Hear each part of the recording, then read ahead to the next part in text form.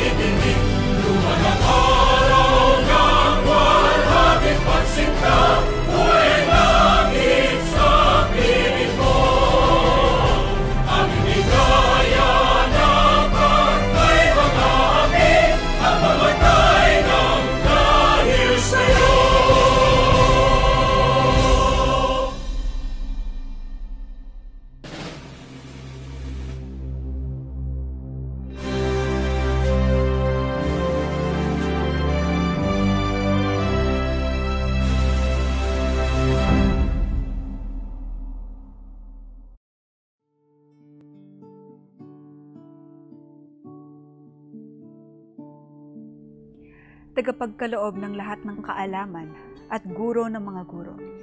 Bigyan po ninyo ng pagkalinga ang aming mga guro. Biyayaan ninyo sila ng kahandaang linangin ng aming murang isipan at huwag magsawa pag di makahabol ang turuan. Pagpalain nawa ang kanilang mga pusong nagdiriwang sa tuwing kami nagwawagi at nag-aalo sa tuwing kami nadadaig. Pagkalooban ninyo sila ng mahinahong pagtitiyaga, sapagkat ang landas ng kaalaman ay hindi madali. Paglingasin ninyo sa kanila ang maapoy na diwang nagpapaliyab sa kagustuhan naming matuto. Tulungan niyo silang makita ang galing sa bawat mag-aaral. Wala sa marka ang halaga, kundi sa pananalig nila. Ikintal ninyo sa kanila o walang pagkauhaw sa karunungan.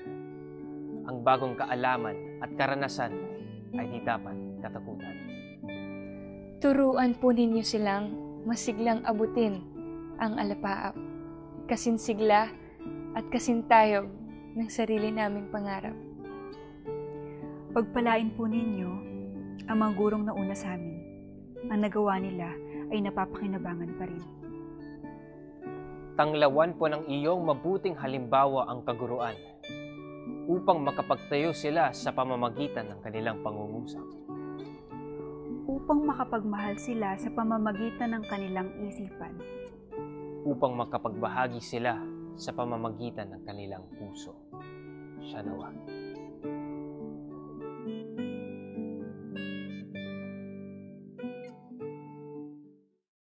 God is good. All the time. And He made everything possible, very beautiful in His time. Yes. So how are you, Mom? I am fine, sir. How are Happy you, New Year. teachers? Yes, Happy New Year. Yan. So, kamusta naman po ang ating mga dear science teachers? Mm. Kayo, ma'am, my partner, kamusta po? Okay na okay, sir. And we are starting to be busy again from work. Yes. Dahil tayo po ay nasa second quarter na ng ating school year ngayong taon. Yes, and how are you? How is your first grading period, ma'am? Mm, very challenging, ano Mm-hmm. po, sir, dahil iba-iba po tayo ng mode of learning, especially sa grade school. Mhm. We are using a modular distance learning. Yes, and for some other schools, they are using online Mm-hmm. and blended learning. Ayan. So, lahat po tayong mga kaguruan, nagiging abala na naman sa paggawa po ng WHLP. Ayan. Paggawa po ng mga learning activities and everything. So, we are now on the second grading period. So, there's another challenge ahead of us kung paano po natin ulit tataguyod ang edukasyon para sa ating mag-aaral. Moving on to give us his opening message, let us all welcome our hardworking and fatherly education program supervisor in science. Let us welcome Dr. Edwin Riel Bermilio. Let's give him a virtual clap. Happy New Year, everyone. My respect and greetings to our school's division superintendent, Dr. Romeo M. Alip, to our assistant schools division superintendent, Sir William Roderick Falurin, to our curriculum implementation division chief, Dr. Milagros M. Peñaflor, to the program management team, learning facilitators, science teachers, grade 3 to senior high school, including alternative learning system, to our dearest students and parents, magandang buhay po sa ating lahat. Positive feedbacks were received from the first wave of our webinar as a good start that signified that the science department could conduct webinar in the different grade levels from grade 3 to senior high school using this platform and live stream at Bataan Science Channel. Expectedly, the task of teachers will be more challenging than before, considering that in this new normal setting, we in the SDO Bataan need to embark appropriate strategies and approaches to be able to realize our desire to make science education continue amidst this health crisis. This second wave of our webinar series is aiming again to enhance the content knowledge and pedagogical skills of our science teachers as necessary preparation for us to effectively deliver the most essential learning competencies and skills to our teachers and learners for the second quarter. This webinar series is only part of what we intend to do under the new normal to augment the educational needs of our students. It is a perfect tool that offers a myriad of information on science content, teaching strategies, and innovation in support to science curriculum that will help them to adapt to changes in the latest teaching and learning system under the new normal. To our learning facilitators and program management team, thank you very much for accepting this challenge. I know we can do this with God's grace and we will be able to survive and face the whole new world of educational learning experience with confidence, integrity, and most of all, with the different competencies that we have. Maraming maraming salamat po sa lahat. God bless everyone. Keep safe po.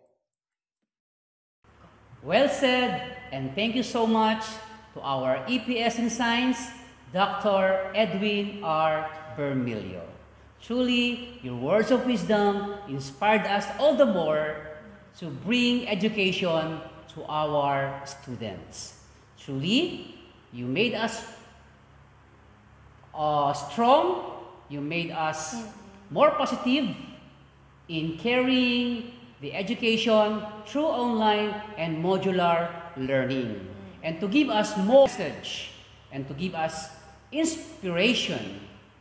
It's my honor and it's my pleasure to introduce to you our mother, mm-hmm. our very own CID, CID chief, Dr. Milagros M. Peñaflor.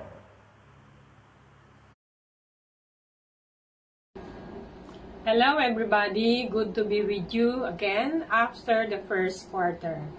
Here we go to the next station, the second quarter. Thanks to you, my dear science teachers, for the continuous effort of providing our learners with skills not only for mastery, but most importantly, for developing higher order skills on critical thinking and creativity. My gratitude to our science supervisor, Dr. Edwin Bermilio, for all the initiatives. This, uh, this move really provides our unit, the Curriculum Implementation Division, a great help in realizing its goal of providing basic education services to our clienteles. On behalf of our school's division superintendent, Dr. Romeo M. Alip, I would like to congratulate the science department, our teachers, our department heads, our principal science coordinators for improving science instruction that eventually lead to improving learner performance. Thank you for all your efforts. Congratulations and God bless us all. That was really an inspiring message from our CID chief, Dr. Mila Peñaflor. Thank you so much, ma'am. And also, we would like to thank the pillars for this webinar series. First and foremost, to our division superintendent, Dr. Romeo A. Alip. To our OIC Assistant Superintendent, Sir William Fallorin. And so with all the technical team of this webinar series in the division of Bataan, thank you so much. And also we would like to thank partner, our very energetic, dynamic, and so industrious PSDS in the whole province of the division of Bataan. Yes, thank you so much to all of you for Yes. making this webinar series possible. Yes, and we keep on reminding that kindly tune on on our Bataan Science channel and Zoom and our Facebook page. Ayan, so eto na tayo partner. Yes. Uh, it's now time to introduce our facilitators and discussants for today's webinar series. All right, I think all the teachers are ready. Are you excited? We are excited. Yes. So before we formally start our program, we would like to present to you the list of facilitators that we will, that we have this afternoon. Mhm. So the first one is Miss Jem Crisostomo, Teacher 1 from Baseco National High School. We also have Mom Jennifer A. Season, Teacher 1 of Mariveles National High School, Cabcaben Annex, Alas Asin. And our last but not the least, we also have Sir Eduardo Antonio Jr.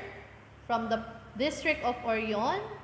He is Teacher 1 from JAG Memorial National High School. Yes, thank you so much.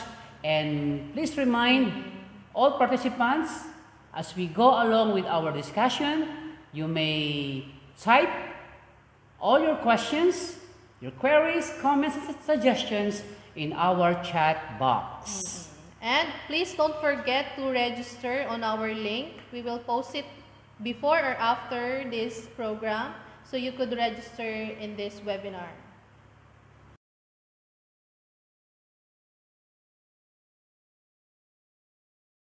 Moving on to start now with our first facilitator, let us all welcome Miss Jem Crisostomo, Teacher 1 from Baseco National High School to share with us the topic about earthquake. Good day everyone. My name is Genti Lumabas Crisostomo, Teacher 1 of Baseco National High School. Our today's learning objectives is number 1. Explain how typhoon develops and how it is affected by land masses and bodies of water.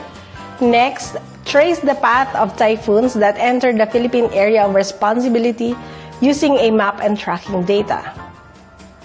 What is the difference between a hurricane, a typhoon, and a cyclone? Absolutely nothing. They are all the same. The only difference between any of these storms is the location where the storm occurs and the direction they spin. If it is in the Atlantic Ocean and the Northeast Pacific, we call them hurricanes. If it is in the Northwest Pacific near Asia, where Philippines is located, it is called a typhoon. If it is in the South Pacific and the Indian Ocean, it is called a cyclone. Storms in the northern hemisphere spin counterclockwise, and they spin clockwise in the southern hemisphere. A tropical cyclone is a generic term used by meteorologists to describe a rotating, organized system of clouds and thunderstorms that originates over tropical or subtropical waters and has closed low-level circulation. The tropical cyclone undergoes a process of development called cyclogenesis.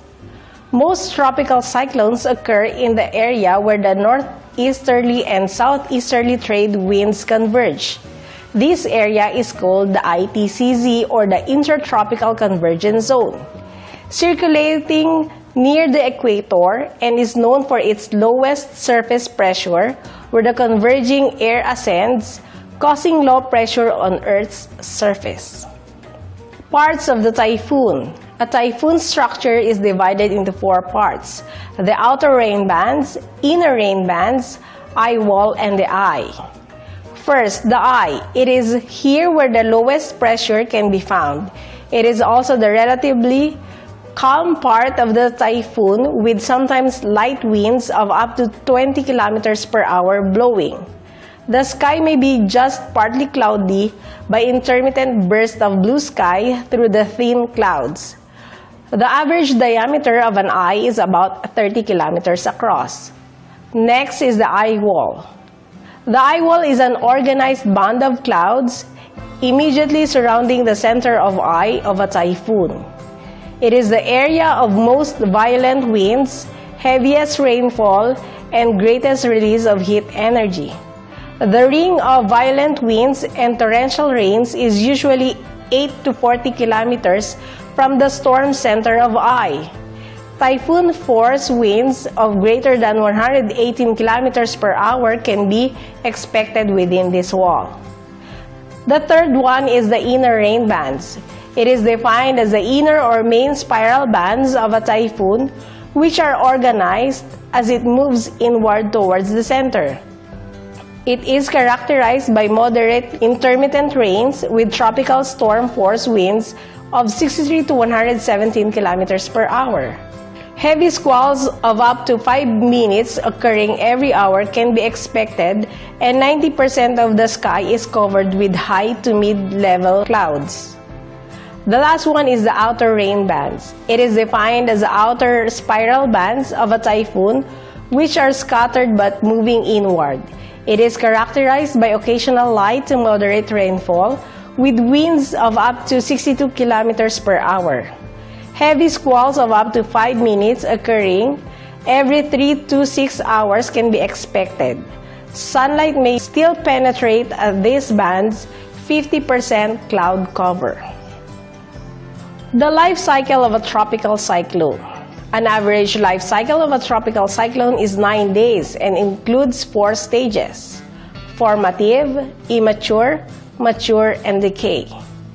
Formative stage or the incipient stage is when the tropical cyclone form in waves and in shear lines of pre-existing disturbances and winds usually remain below the typhoon force. The next stage is the immature stage, the deepening stage of the cyclone during which it continues to deepen until the lowest central pressure and the maximum wind intensity are reached. However, intensification does not usually take place since some have been known to die down even though the winds has attained typhoon force. The third stage is the mature stage, the stage of maturity of the tropical cyclones where the areas of circulation expands while the surface pressure no longer falls and no increase in maximum wind speeds can be observed which may last for a week. And the last stage is the decaying stage. This is the dissipating stage of the tropical cyclone where the surface pressure rises and the area by the cyclones diminishes in size as it recurves or dissipates due to friction and lack of moisture over continents or over colder and drier air enters through when they go poleward. How do tropical cyclones form? There are a couple of ingredients that will benefit for the formation of a tropical cyclone here in the Philippine Sea and Western Pacific Ocean. These are number one, warm sea surface temperature of at least 26.5 degrees Celsius with a depth of 150 feet and high moisture or humidity present in the atmosphere.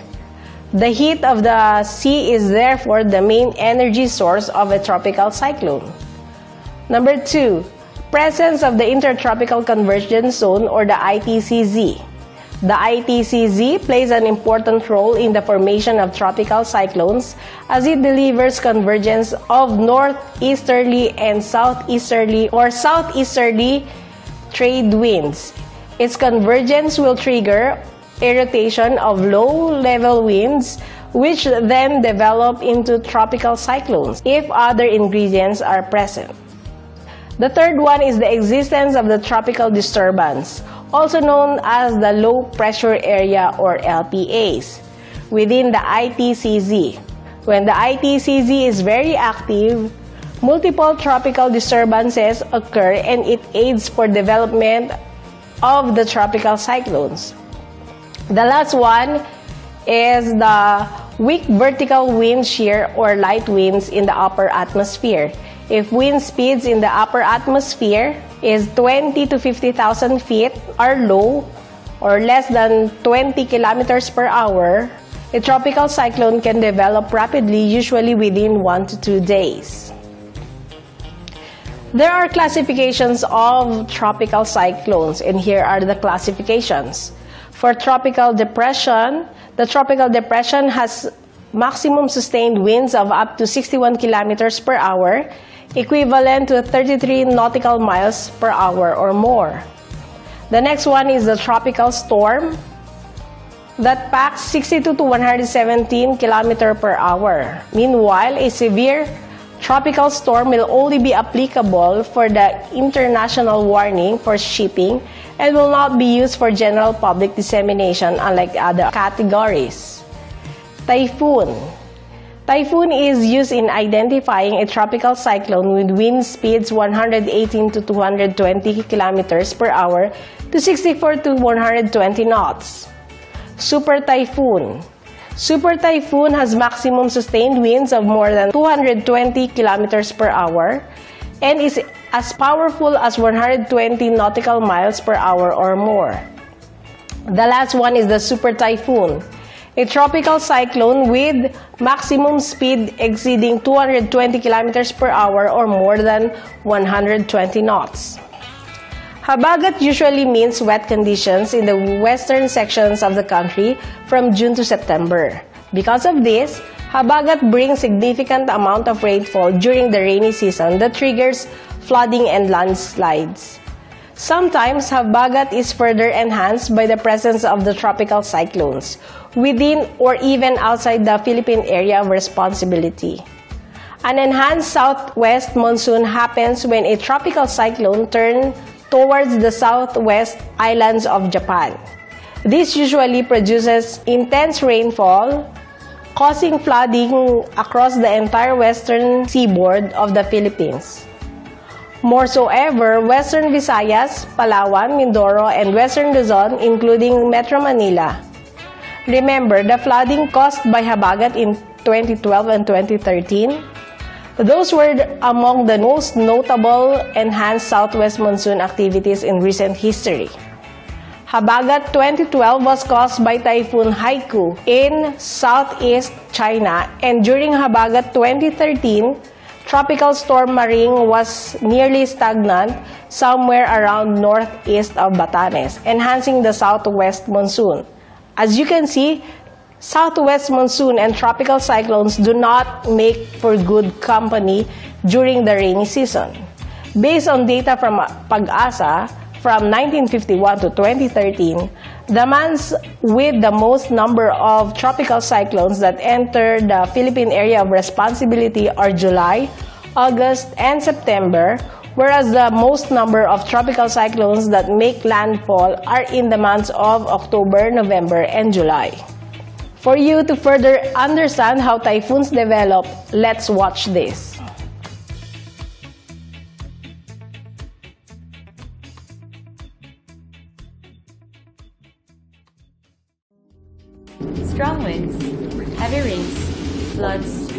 Storm surges. These are just some of the hazards that are brought by tropical cyclones. The formation of tropical cyclones is a natural phenomenon that is used by the Earth to attain balance or equilibrium, transferring energy from the equator to colder parts of the Earth. They are called by various names. In the Northwest Pacific, we call them typhoons. In the Indian Ocean and Southwest Pacific, they are called cyclones. And in the Atlantic, they are called hurricanes. They are often found to form within the Intertropical Convergence Zone or the ITCZ, where the northeast and southeast trade winds meet. Typhoons form just like how ordinary rain clouds form. They start from the evaporation of water molecules from the ocean. Because this moist air is warm, they travel upwards until they meet with cold air. At this point, they start to condense and form clouds, resulting in rain showers. The clouds dissipate and vanish after precipitation is completed. With a very active system, clouds can group together into large clusters of thunderstorms. These clusters of clouds are areas of low pressure in the atmosphere. When combined with warm ocean waters, typically over 26 degrees Celsius, they join two of the key ingredients in transforming ordinary clouds into deadly typhoons. Converging winds also help the movement of warm, moist air from the ocean upwards and contribute to the circulation of the typhoon. With an organized circulation, the low pressure area becomes a tropical depression. As the tropical depression drifts, it may encounter areas of the ocean where it is exceptionally warm. This will further drive the increase of its circulation, transforming it into a typhoon. And when conditions are ideal, the system starts to rotate even faster, and now on a clear center, the eye of the typhoon. The Philippine Atmospheric, Geophysical, and Astronomical Services Administration, or the PAGASA, is a Philippine national institution dedicated to provide flood and typhoon warnings, public weather forecast and advisories, meteorological, astronomical, climatological, and other specialized information and services primarily for the protection of life and property and in support of economic productivity and sustainable development. The government agency was created on December 8, 1972 by virtue of Presidential Decree Number 78 reorganizing the Philippine Weather Bureau into PAGASA. We have five Philippine storm warning signals. PSWS number 1, tropical cyclone winds of 30 to 60 kilometers per hour are expected within the next 36 hours. The impact can be no to damage to very light damage. PSWS number 2, tropical cyclone winds of 61 to 120 kilometers per hour are expected within the next 24 hours. The impact can be light to moderate damage. PSWS number 3, tropical cyclone winds of 121 to 170 kilometers per hour are expected within the next 18 hours, and the impact can be moderate to heavy damage. PSWS number 4, tropical cyclone winds of 171 to 220 kilometers per hour are expected within the next 12 hours. The impact can be heavy to very heavy damage. PSWS number 5, tropical cyclone winds of more than 220 kilometers per hour are expected within 12 hours. The impact can be very heavy to widespread damage. What does Pag-asa's heavy rainfall warning system mean and more importantly imply? Pag-asa releases color-coded yellow, orange, and red rainfall advisories, which mean there is observed rainfall volume that will likely continue for the next two hours in a certain area. The first one is the yellow rainfall advisory. It has 7.5 to 15 millimeter or heavy rain. It is observed one hour and expected to continue in the next two hours. Flooding is possible. We have to monitor the weather condition for this warning signal. For the next rainfall advisory, which is color orange, 15 to 30 millimeter or intense rain is observed in one hour and expected to continue in the next two hours. Flooding is threatening, so we should be alert for possible evacuation. The last one is the red. Red rainfall advisory is more than 30 millimeter rain. It is observed in one hour and expected to continue in the next two hours. Serious flooding is expected in low-lying areas and evacuation is a must. How do landforms and bodies of water affect the typhoon? Sierra Madre is the longest mountain range in the Philippines. It serves as the eastern wall of Luzon that protects its inhabitants from tropical cyclones usually coming from the Pacific Ocean. Land masses weakens the typhoons. Bodies of water act as a catalyst in the formation of a typhoon. The air in bodies of water is warm due to the vaporization of water. This warm air builds up or increases the wind speed of a typhoon. The climate map of the Philippines. There are four types of climate in the Philippines. For type 1, we have the color red. Two pronounced season, dry from November to April and wet during the rest of the year. Maximum rain period is from June to September. Type 2, the color yellow. No dry season with a very pronounced maximum rain period from December to February. There is not a single dry month. Minimum monthly rainfall occurs during the period from March to May. Type 3, the color green. No very pronounced maximum rain period with a dry season lasting only from 1 to 3 months, either during the period from March to May. This type resembles type 1 since it has a short dry season. The last one is the type 4 or the color blue. Rainfall is more or less evenly distributed throughout the year. This type resembles type 2 since it has no dry season. The next one is the Philippine Area of Responsibility or the PAR or PAR. The Philippine Archipelago, which is surrounded by water, lies at the western rim of the Pacific Ocean, north of the equator, and about a thousand kilometers from the Asian mainland. It is bounded on the west by the South China Sea or West Philippine Sea, on the east by the Pacific Ocean, on the north by the Bashi Channel, and on the south by the Sulu and Celebes Seas. It refers to the designated area in the northwestern Pacific where Pag-asa is tasked to monitor tropical cyclone occurrences. The Philippine area of responsibility is bounded by the black lines joining the following points. 25 degrees north, 120 degrees east, 25 degrees north, 135 degrees east, 5 degrees north, 135 degrees east, 5 degrees north, 115 degrees east, 15 degrees north, 115 degrees east, and lastly, 21 degrees north, 120 degrees east.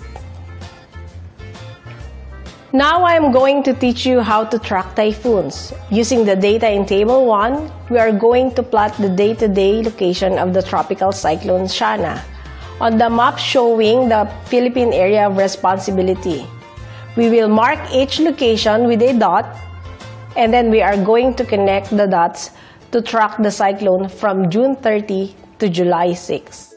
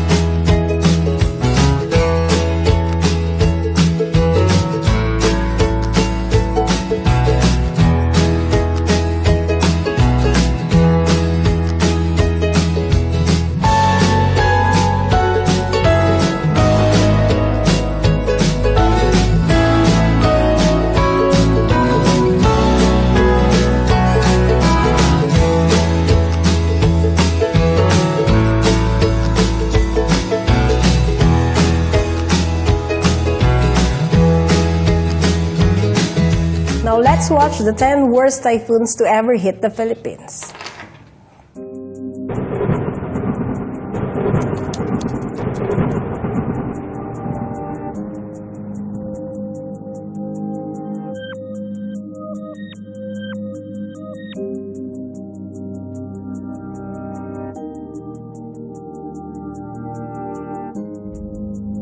10 worst typhoons to ever hit the Philippines.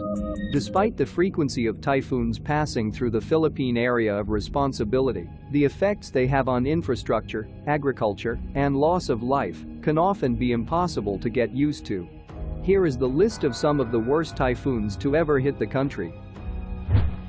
Typhoon Haiphong. The most devastating typhoon to ever hit Philippine shores happened even before the country gained its independence from Spain. Typhoon Haiphong developed over the Pacific Ocean in late September 1881, and though its exact category and strength are unknown, the impact it had on the Philippines and Vietnam was devastating. Around 20,000 people died in the Philippines alone. Haiphong went on to hit the port town of Haiphong in Vietnam, where it decimated the town almost completely. Eventually, this typhoon ended up claiming 300,000 lives, making it the world's third deadliest tropical cyclone ever. Typhoon Haiyan Yolanda. No discussion of Philippine typhoons can go without mentioning the deadliest typhoon in modern history. Super Typhoon Yolanda had 10 minute sustained wind speeds of 230 kilometers per hour and 1 minute sustained wind speeds of up to 315 km per hour, causing widespread destruction and storm surges. The provinces of Samar and Leyte reported the largest number of fatalities, with 5,877 alone taking place in eastern Visayas. Tropical Storm Thelma or Uring. Although not technically a typhoon, Tropical Storm Uring ranks third in the deadliest storms to ever hit the Philippines. Although its winds were far from the strongest on record, it did cause torrential rainfall in many areas of the Visayas. Much of the region received around 150 mm or 6 inches of rainfall, but Leyte in particular had as heavy as 580.5 mm or 22.85 inches. This rainfall overwhelmed the Anilao Malbasag watershed and rivers, causing widespread and devastating flooding. Typhoon Bopha or Pablo. Typhoon Pablo stands out for being the strongest recorded tropical cyclone to ever hit the island of Mindanao, which is often known for its lack of extreme weather events. It made landfall as a super typhoon, with wind speeds of up to 280 km per hour.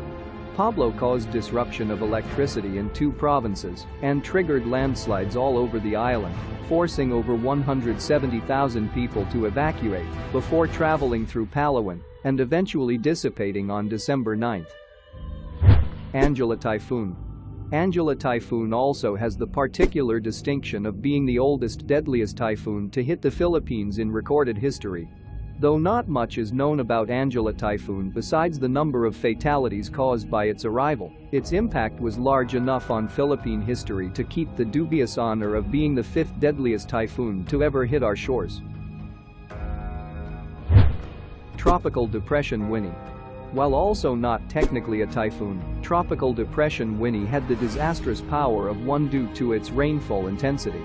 The heavy rainfall caused by this tropical depression triggered massive floods and landslides around the Quezon and Aurora provinces, resulting in huge losses of life and ranking it one of the deadliest storms to ever hit the country. It eventually turned to a north-northwesterly track and was last located along the northwestern Luzon coast on November 30th before dissipating.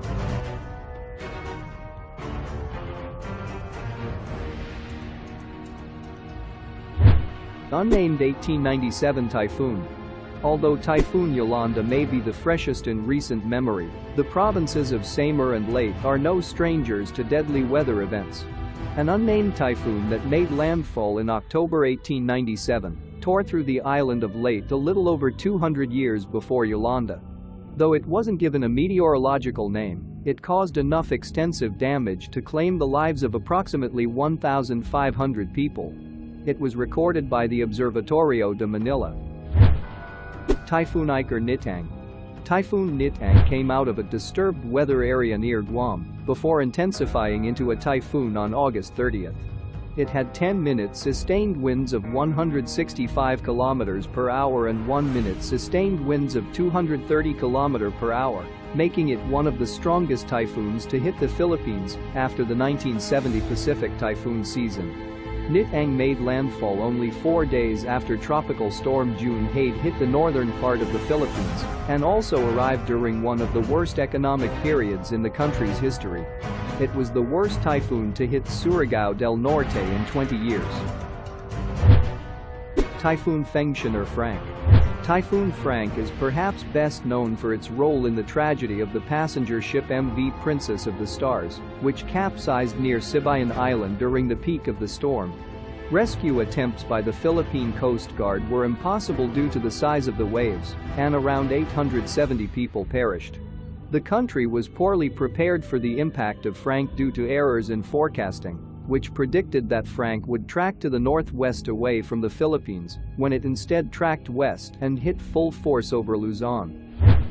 Typhoon Durian or Reming Typhoon Reming at peak intensity had 10 minute sustained winds of 195 km per hour and 1 minute sustained wind speeds of 250 km per hour.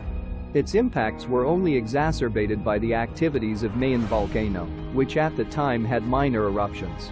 Despite earlier preparations by the government, the heavy rainfall caused by Reming reaching over 457 mm or 18 inches in Albay clashed with the flows from Mayon, causing mudflows and lahar across the province. The torrential rain also caused dikes to break, inundating many parts of the region, and strong winds uprooted trees and houses.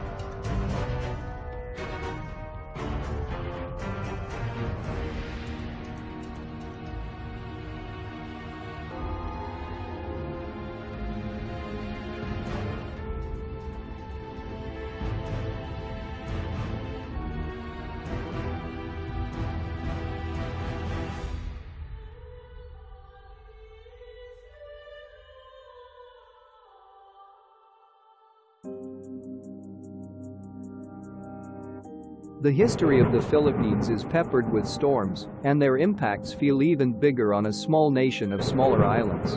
However, while any one of these typhoons could cripple a nation, Filipinos have always picked themselves back up again. Like the bamboo growing across the archipelago, they bend in the face of strong winds. But never break.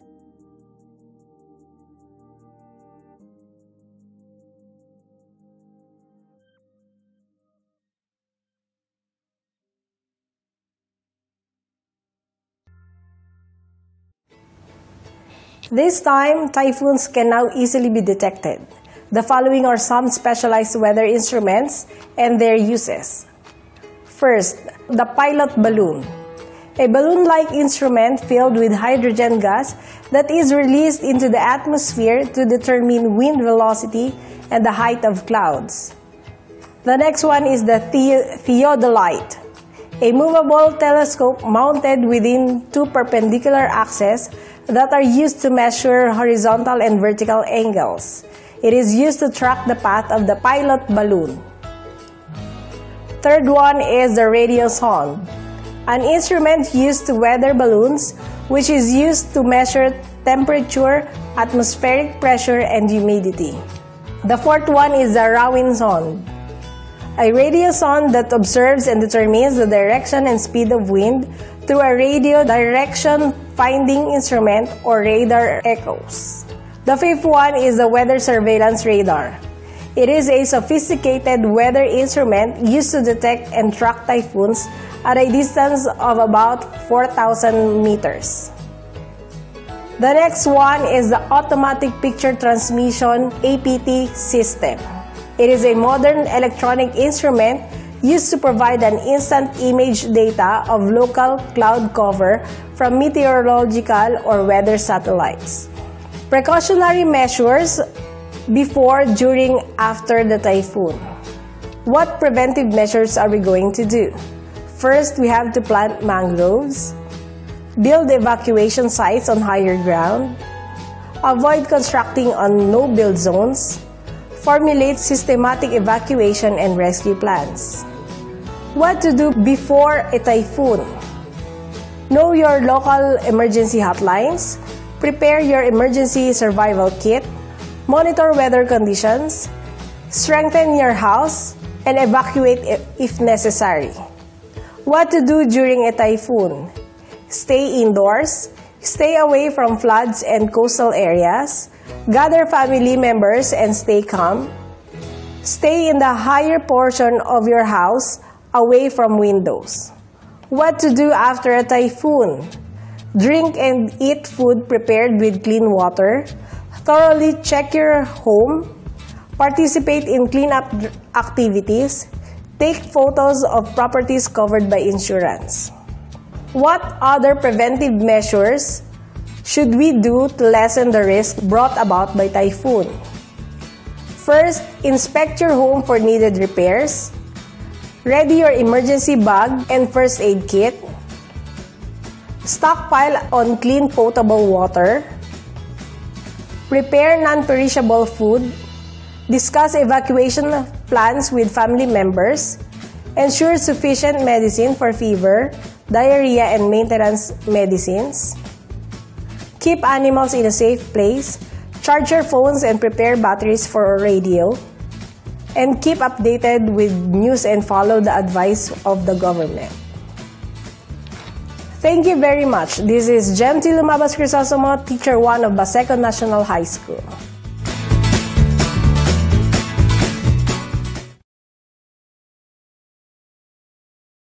Well said, Ma'am Jem Crisostomo. She made discussion, made uh, a discussion about typhoon partner and Yes. truly very informative and captivating yung kanyang mga discussions sa ating series of webinar. And that is very applicable, sir, ano? Yes. Especially from the last year that we experienced, napakarami nating mga pwedeng may adapt, pwedeng gamitin from the, his from her discussion rather. Yes, he made mention how to trace the pathways of typhoon. Ayan, and very informative kasi nabanggit din ni Ma'am Jem yung mga historical events ng typhoon sa buong Pilipinas. At nabigyan din niya ng diin, di ba? Ang pagkakaiba ng typhoon, cyclone, and hurricane. So, talagang malaman ang mga naging discussion ng ating unang facilitator partner. Mm, Speaking of typhoon, sir, ano Yes. bang typhoon ang na-experience yun? Very memorable sa inyo. Sa akin, ang Typhoon Rosing, kung nabanggit man yan, yun ang memorable sa akin kasi during my elementary days, yun ay isa sa mga pinakamalakas and devastating typhoon during my childhood days. Kayo naman, ma'am. Ako po is yung bagyong Ondoy. That was Mhm. 2009. Oh.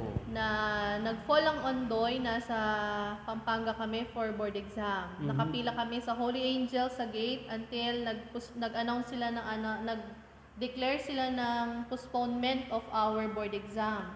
So we have to go back to Bataan during the typhoon. So very memorable ang Ondoy sa amin. Yes, and if we will trace, di ba, yung massive effects ng mga typhoon sa panahon natin ngayon, medyo nagiging nagiging ano eh ah, malala. Kasi nga dahil na rin sa global warming and climate change phenomenon kaya ultimong mga bagyo din eh nagbabago. Actually pati nga pangalan di ba nagbabago na rin. Yes. yes mga millennial names na rin ng mga ibinibigay ng mga pag, ng pag-asa sa mga pangalan ng mga bagyo. Once again thank you so much Ma'am Jem for a very wonderful discussion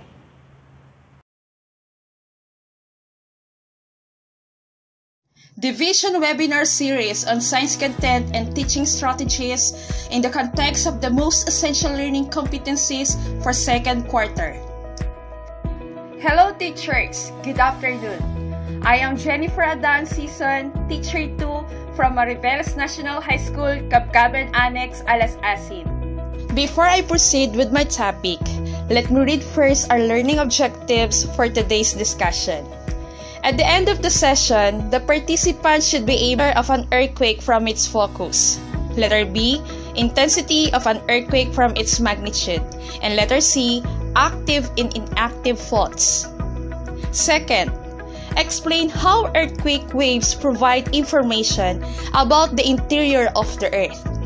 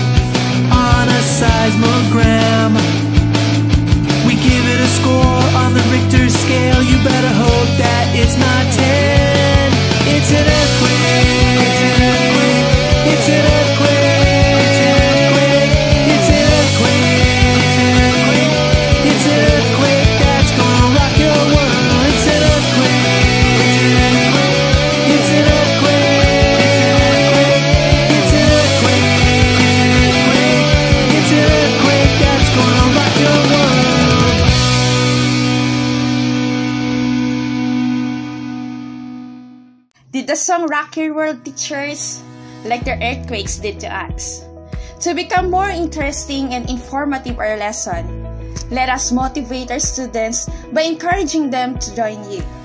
Like what we did today, teachers. I prepared the song with trivia in order for us to learn and enjoy the lesson. This will help us or the students to engage, understand, and love our subject. You did a great job, teachers. Earthquakes and earthquake is a sudden movement of the Earth's crust. It can be slight or violent shaking of the ground. It can be due to volcanic activity or the movement of tectonic plates, which are the pieces of the Earth's crust. The Earth's crust is covered with a thick layer of solid rocks. These rocks were once molten deep within the Earth due to high pressure and intense temperature. A crack may occur across these solid rocks, causing a fault. A fault is a planar fracture between two rocks facing each other. The movements of the rocks can be sudden or slow and continuous. They can deform the Earth's surface.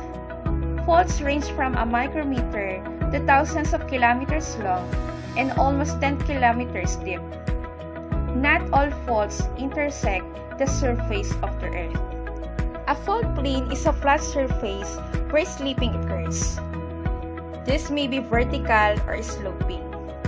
A hanging wall is a block located above a fault plane, which rests on the footwall of a fault. A footwall, on the other hand, is a block located below a fault plane. A fault line is the surface of a fault fracture along which the rocks have been displaced. A fault scarp looks like a step on the Earth's surface, which is caused by a slip on the fault. A fault zone is the area of complex deformation associated with the fault plane. Plate boundaries are fault zones that accommodate the motion between plates.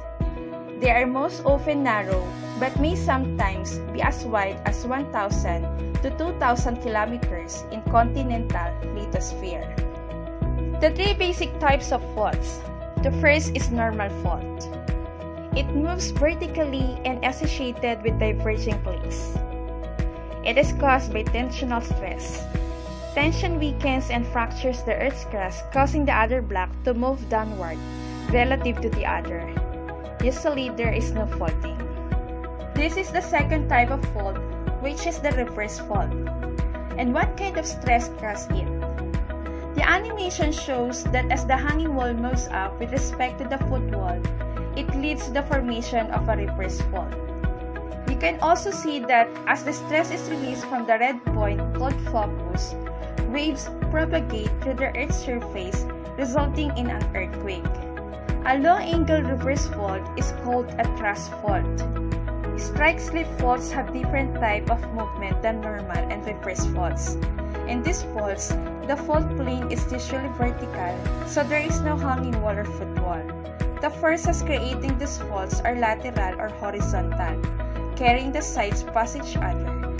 As you can see in the animation that as the sides slip past each other, they result in an earthquake. the slip occurs along the strike, not up or down the dip. Where tectonic plates move at a constant rate, most faults do not. When a fault does move slowly without rupture, it is said to creep. Evidence of creep can sometimes be seen in slightly displaced buildings or a jog to the left or right on a sidewalk. Most faults do not slip much at all most of the time and when they do slip, they cause earthquakes. A typical fault with a slip rate of 2 mm per year might have one earthquake approximately every 100 years that creates about 0.2 meters of displacement in a matter of seconds. Hypocenter versus epicenter. The epicenter is the point on Earth's surface directly above where an earthquake occurs along a fault. The hypocenter is the actual point at which the earthquake occurs along a fault beneath Earth's surface. They both represent the origin point for seismic waves, but the epicenter is on Earth's surface and is used to measure the two-dimensional spread of seismic waves, whereas the hypocenter is used to measure the three-dimensional spread of seismic waves and is the actual source of the seismic waves. Furthermore, surface waves will also spread out from the epicenter, whereas only body waves are initially associated with the hypocenter of an earthquake active faults and inactive faults. Active faults, areas along which all shallow earthquakes occur, display seismic activity within 10,000 years. In active faults, areas which had not displayed any seismic activity for more than 10,000 years. So let us find out the fault lines here in the Philippines. In Central Philippine Fault, the Masbate, Eastern Leyte, Southern Leyte, Agusan del Norte, Agusan del Sur, and Davao del Norte. Marikina Valley Fault, the affected area Muntinlupa, San Pedro, Carmona, Santa Rosa, Calamba, Tagaytay, and Oriental Mindoro. Western Philippine Fault, Luzon Sea, Mindoro Strait, Panay Gulf, and Sulu Sea are the affected areas. Eastern Philippine Fault, the affected area is Philippine Sea. Southern of Mindanao Fault, the affected areas are Moro Gulf and Celebes Sea. Instruments used to measure earthquakes. Seismographs are instruments used to measure earthquake waves. A seismogram is the record they produce of the arrival times and magnitude of earthquake electronically and can detect even very weak or very distant signals. Seismographs enable us to measure the size of earthquakes and to locate them accurately. Richter scale and Mercalli scale, earthquake. Charles F. Richter, an American seismologist and physicist, devised an instrument to measure the magnitude of an earthquake. This instrument is known as the Richter scale. It is based on the amplitude of seismic waves. The stronger the earthquake, the stronger the seismic vibration it causes. The intensity of an earthquake is the strength of seismic shaking in a given area or location. An earthquake has a single magnitude but can have a different intensities in different areas. Areas near the epicenter have higher intensity. Areas from far the epicenter have weaker intensities. Specific numbers are assigned to represent different levels of shaking. These numbers are used in studying the pattern of earthquakes that occur in different areas. This study led to the development of the Mercalli scale by just his scale was modified in 1930. Look at this picture. The first picture is the intensity 1. The effect is instrumental. It is detected only by seismograph and the magnitude is 1 to 2. The second picture is intensity 2. The effect is feeble, noticed only by sensitive people, and the magnitude is 2 to 3. The next picture is intensity 3. The effect is slight, resembling vibration caused by heavy traffic, and the magnitude is 3 to 4. And first picture, that is the intensity 4. The effect is moderate, felt by people, freestanding objects are disturbed, the magnitude is 4. Second picture is the intensity 5. The effect is rather strong. Sleeping people wake up and the magnitude is 4 to 5. Last picture is the intensity 6. The effect is strong. Swaying of trees, objects overturn and fall. The magnitude is 5 to 6. The first picture is the intensity 7. The effect is very strong. General alarm. Wall crack. Magnitude 6. The second picture is the intensity 8. It is destructive. Chimneys fall. Some other buildings are damaged. The magnitude is 6 to 7. Intensity 9 for the third picture. The effect is ruinous. Ground begins to crack, houses begin to collapse, pipes break, and the magnitude is 7. Intensity 10 for the first picture, the effect is disastrous. Many buildings are destroyed, landslide occur, the magnitude is 7 to 8. For the second picture is the intensity 11. It is very disastrous. Few buildings remain standing, bridges and rail wheels are destroyed. It is magnitude 8. And the last picture is the intensity 12. The effect is catastrophic. Total destruction. Objects are thrown into the air. Grounds are distorted. And the magnitude is 8 or greater. Let us define first what is seismic waves. Seismic waves are waves of energy that travels through the earth. There are three types of seismic waves. They are primary waves or the P waves, secondary waves or the S waves, and the secondary waves. Primary or P waves. These waves can travel through fluids and solids and are longitudinal. This means they transfer their energy through compression, like a slinky forming compressed areas when you push one end. This also means that they transfer energy parallel to the direction of the wave. So if a wave is traveling north to south, the energy will be transferred in this direction. P waves are the fastest of the three seismic waves. Secondary or S waves. S waves cannot travel through air or water, only through solids, but they have a larger amplitude. This is the height of a wave measured from the highest point to the middle line, so are more destructive in the case of an earthquake. They are transverse waves, meaning they transfer energy perpendicular to the direction of the wave like a rope being shaken up and down. S waves are slower than P waves. Surface waves has two types, the Rayleigh wave and the Lang wave. The final type of seismic waves occur along the boundary between two different substances. They can be either longitudinal or the Rayleigh or transverse or Love and Rayleigh. Those waves travel slower than both S and P waves but have a higher amplitude and so can be the most destructive of all the seismic waves. All three types of seismic waves are generated in an earthquake and we can monitor them to find out about the nature of one. For example, by measuring the difference in arrival at monitor between the fast P waves and slower S waves to find the location of earthquake's focus. The seismic waves called P waves pass through the core and are detected on the far side of the Earth. Indirect signals received in the P wave shadow zone suggest there is a solid inner core deflecting some waves. The seismic waves called S waves do not travel through liquid. We know that the outer core is liquid because of the shadow it casts in S waves. Knowing how the waves behave as they move through different materials enable us to learn about the layers that make up the Earth. Seismic waves tell us that the Earth's interior consists of a series of concentric shell with a thin outer crust, mantle, liquid outer core, and a solid inner core. This time I'm going to discuss the 10 strongest earthquakes in the Philippines that caused major destruction and casualties. We all know that the Philippines is located along the Pacific Ring of Fire, which is the reason why our country is prone to seismic and volcanic activity. Number 1. Magnitude 8.0 earthquake in Mindanao.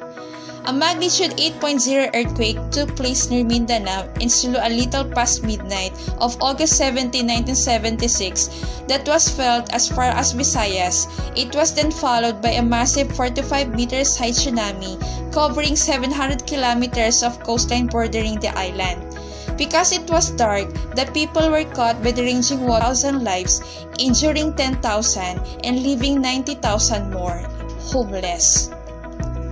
Number 2. Magnitude 7.8 earthquake in northern and central Luzon.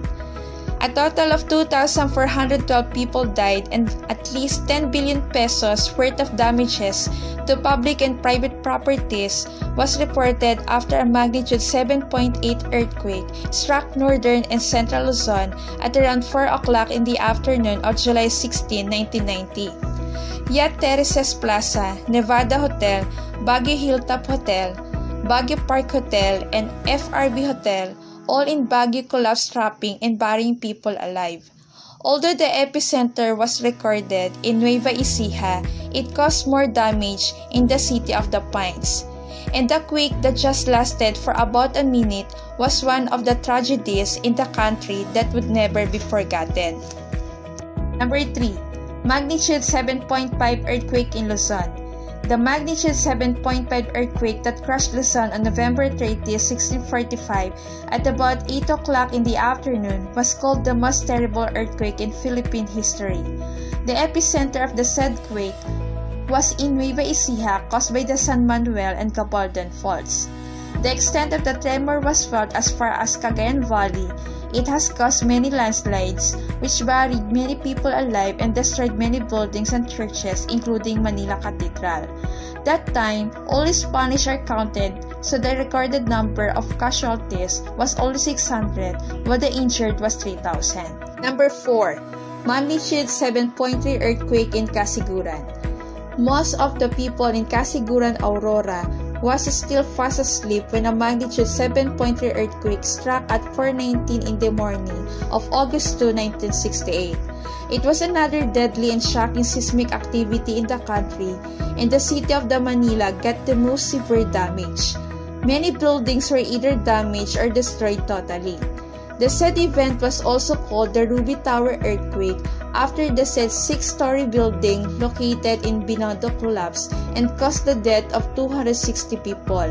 A total of 268 people died that day and 261 more were injured. Number 5. Magnitude 7.2 earthquake in Bohol. The quake affected most of central Visayas, particularly Bohol and Cebu.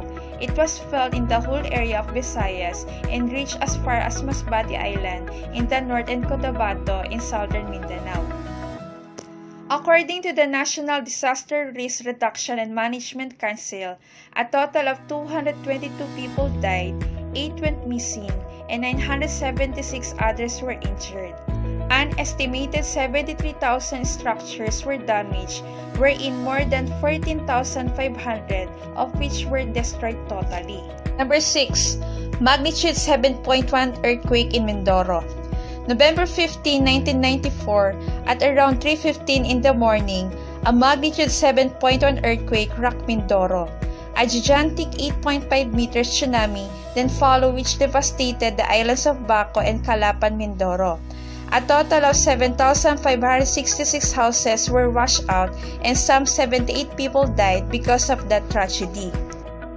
Number 7. Magnitude 6.9 earthquake in Central Visayas.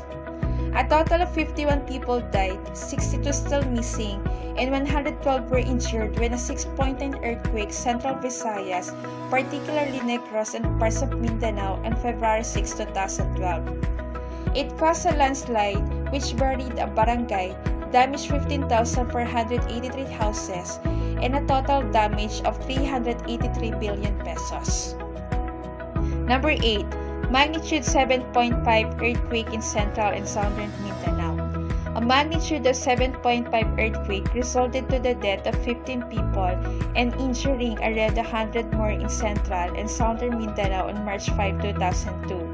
The said quake originated near the Cotabato Trench that was followed by a tsunami, but it was the flood that was generated by landslides and falling debris that caused damage to an estimated 800 buildings. Number 9. Magnitude 6.5 quake in Ilocos Norte.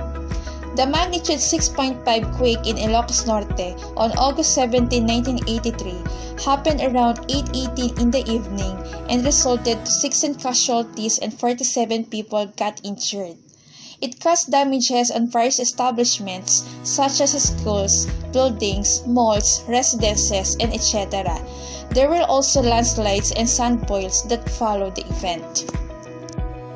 Number 10. Magnitude 7.6 earthquake happened near Guiuan Eastern Samar. A very strong earthquake with a magnitude of 7.6 happened near Guiuan Eastern Samar on August 31, 2012 that was felt as far as Mindanao. The Philippine Institute of Volcanology and Seismology, or PHIVOLCS, issued a tsunami warning level 3 but it was lifted 5 hours later. The quake caused damage on homes, bridges, and other infrastructure. There were also power interruptions in the affected areas. But despite the intensity, only one person was reported dead and one injured because of the landslide in Cagayan de Oro City. The following are safety measures that can be observed when there is an earthquake. Before, know the hazards in your area. Familiarize yourself with the followings like fire extinguishers, medical kit, exit routes, and evacuation plan. Check your house and have it repaired if necessary. Store harmful chemicals and flammable materials properly. Secure heavy furniture and hanging objects. Prepare your family's go bag containing items needed for survival. And last, participate in office and community earthquake drills. During When inside the building, stay calm and do the duck, cover, and hold. Duck under a strong table and hold on to it. Stay alert for potential threats. Stay away from glass windows, shelves, and heavy objects. After the shaking stops, exit the building and go to the designated evacuation area. When you are outside, move to an open area. Stay away from buildings, trees, electric posts, and landslide prone areas. If you're in moving vehicle, stop and exit the vehicle. After, stay alert for aftershocks. Assess yourself and others for injuries. Provide first aid if necessary. Prioritize the needs of older persons, pregnant women, PWDs, and children. If in a coastal area and there is a threat of a tsunami, evacuate to higher ground immediately. Check your explosive toxic and flammable chemicals. Stay out of the building until advised that it is safe to return. Check your damages in water and electrical lines and gas or LPG leaks. Here are the references for my discussion. Thank you. Thank you, Ma'am Jennifer, for that very informative discussion. Yes, thank you so much for a very wonderful and alive discussion. Truly, yun lang PowerPoint presentation ni Ma'am, partner, di ba? Yes. Captivating na. And ikaw, partner, is, uh, talking about her topic, kailan mo huling naranasan ang magkalindol sa Pinas? Parang this New Year lang, sir, di po ba? Oh, New Year? New Year, Oh, Christmas. Chris- I guess Christmas Oo, Day, Christmas. yes. 7.30, I guess, no? Lumindol ng malakas sa ating lugar. Ayan. Pero, sir, parang nagamit pa rin natin doon yung duck cover and hold. Eh, Exactly, po ba? yan. Tama yung mga naging discussion ni Ma'am Season kasi muli, no, binigyan tayo ng kaalaman kung paano may iwasan ang dreadful effects ng typhoon. At madalas naman natin tong ginagawa, di ba, sa ating eskwelahan, yung tinatawag nating earthquake drill sa tulong na rin ng LGU natin at saka ng Fire Station Department. Ayan. And at the same time, sir, di po ba, mas nagamit natin yung presence of mind Yes. during the earthquake. Mhm. So, maganda po ang mga naging discussion ng ating second facilitator kasi naibigay po niya sa atin yung mga tamang detalye ng mga konsepto na may kinalaman sa earthquake. One of the topics in the most essential learning competencies. Mm, Thank you so much. Yes. Thank you so much, Ma'am Jennifer Adaon of Mariveles National High School, Kabkaben Annex, Alas Asin. Thank you. And now, let us welcome our third facilitator. He is from JAG Memorial National High School, a teacher one who will share to us about the strategies and techniques in teaching Science 8. Ladies and gentlemen, let us all welcome Sir Eduardo Antonio Jr. Let's give him a virtual clap.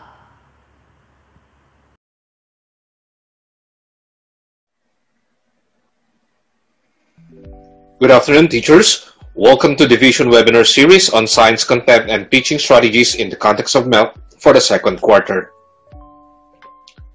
I am Eduardo A. Antonio Jr., Teacher 1 from Justice Emilio Angeles Gancayco Memorial High School, and I'm here to share teaching strategies in the new normal.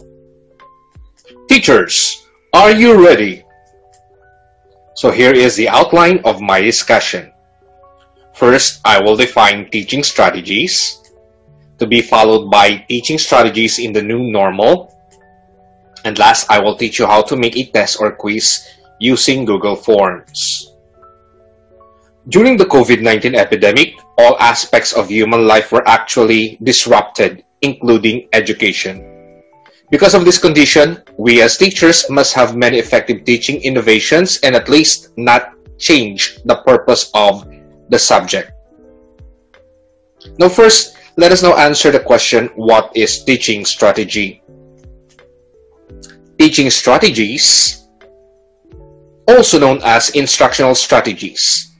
These are methods that teachers use to deliver course material in ways that keep students engaged in practicing different skill sets. A teacher may select different teaching strategies according to unit topic, grade level, class size, and classroom resources. So always remember that teaching strategies should be carefully matched to the teaching objectives of a particular lesson. Now, during our college days, we learned so many types of teaching strategies. And some of these strategies are case method, big group or small group discussion, peer mentoring, role-playing, visualization, inquiry-based instruction, differentiation, behavioral management, active learning, cooperative learning, integrating technology, and of course, distance learning. And I know marami pa kayong po pwedeng i-identify or i-enumerate na types of teaching strategies. Now, during normal, a new normal, or during our pandemic time, there are common strategies that we use. And one of these, yung tinatawag natin na distance learning. Distance learning is actually not, is not a new concept. We all have experienced learning outside of a structured classroom setting through television, correspondence courses, and others. Distance learning may be implemented through the following delivery modalities. We have this modular distance learning that includes two. The first one is the Digital Modular Distance Learning or the DMDL and Printed Modular Distance Learning or the PMDL. We also have Online Distance Learning or the ODL. Third is the TV video or radio-based instruction. And the fourth one is the Blended Distance Learning or the BDL. We have this Blended Distance Learning. It is an instructional approach that uses digital strategy in tandem with the best practices or best practice in the classroom. In some blended classroom, digital and face-to-face teaching may alternate according to fixed schedule. And blend traditional assessment with digital ones. Also, ma-experience nyo, nyo to sa mga susunod kung i-apply nyo yung i-discuss ko later. Kasi using technology, informative, and summative assessments uh, using uh, using Google Forms, yan katulad niyan, makakatulong yan para mas mapadali natin yung ating um, pagbibigay ng test sa ating mga students. So, mas nag enjoy din yung mga students natin kasi instead of paper and pen, pencil test, magkakaroon sila ng another form of assessment. No? O pwede nyo kasing laruin yung paggagawa nyo ng quiz or ng test using Google Forms. So, lagi natin tatandaan, pasayahin natin ang mga estudyante. Lagi natin itatak sa isip nila that learning is fun. So, ito yung examples naman natin ng mga uh, po pwedeng gawin kapag uh, pinili natin mag-blended distance learning. So, for biology, students writing a narrative or essay could also digitally design a front cover, okay, reflecting the themes of their story. So, doon lang naman sa mga pipili yan ng blended distance learning. Okay, sa chemistry naman po, pwedeng students doing experiments could record themselves or do simultaneously via Zoom. Do it simultaneously via Zoom. And then analyze their work or output. Pwede sila mag-exchange ng mga opinions or ideas habang sila ay naka-Zoom. A standard oral presentation in earth science could be recorded as a podcast or video with engaging multimedia elements. O kamukha ng mga ginawa natin nung nakaraan, di ba nagkaroon tayo ng vlog. Okay, pa-contest pa nga yun para sa ating uh, science fair. And then, the last one for physics, okay, students could test their skills against peers via PHET or PHET Interactive Simulation. So, senior yan ni um, Dr. Bermilio, pinakita doon, meron tayong mga ikiklik na ano siya, simulation pero virtual. Maganda siya.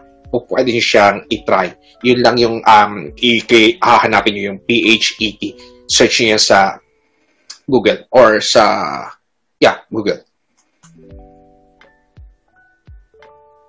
Okay, let's now move on to the last part of my discussion, which is about Google Forms.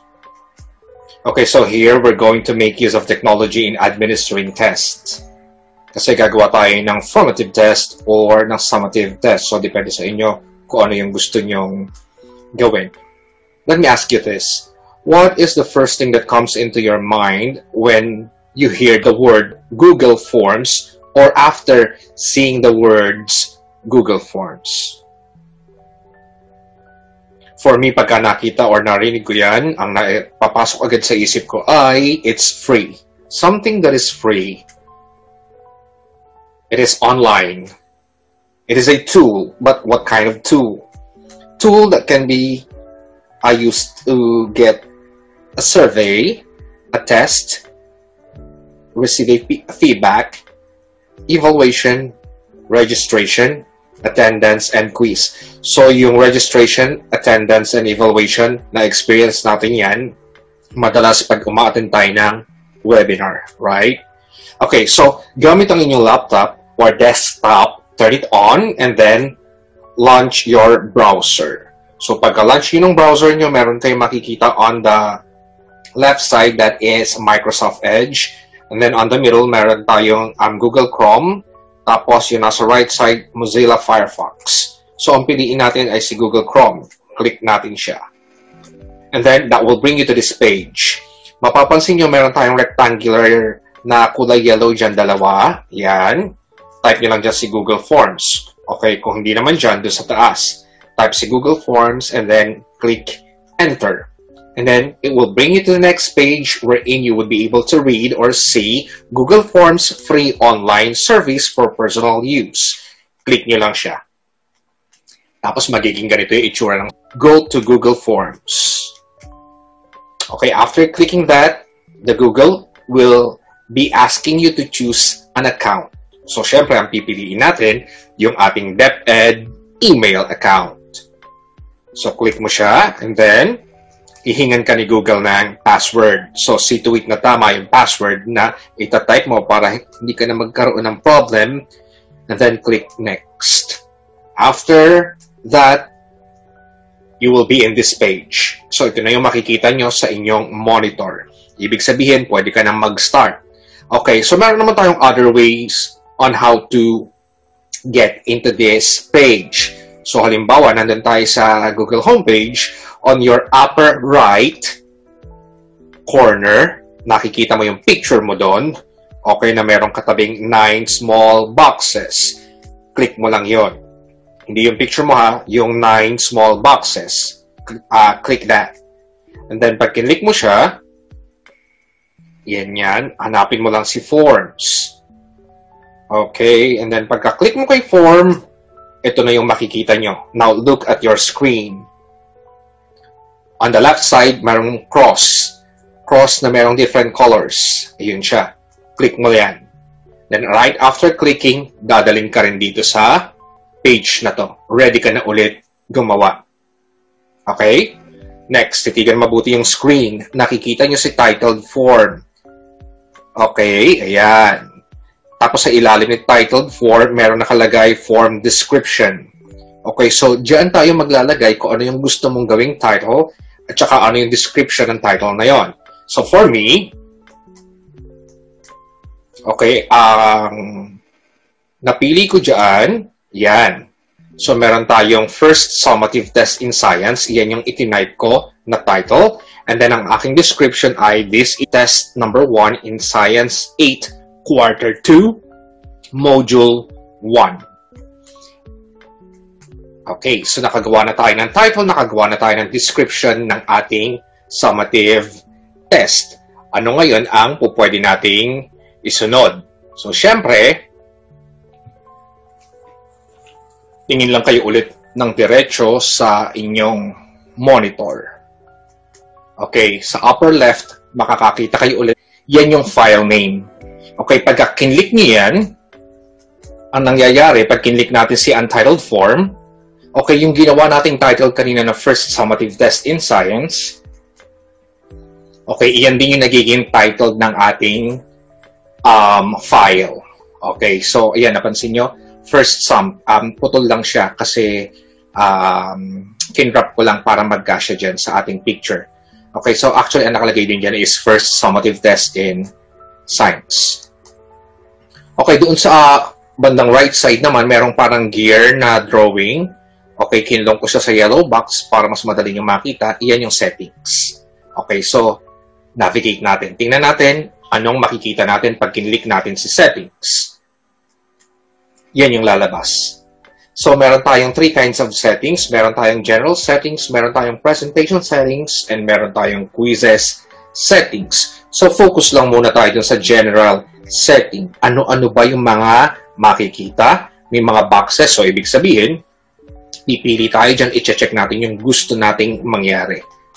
Okay, so sa general setting, nakita natin si collect email address. So, syempre, gusto natin kilala natin kung sino yung mga um, respondents natin. So, hihinga natin sila ng email.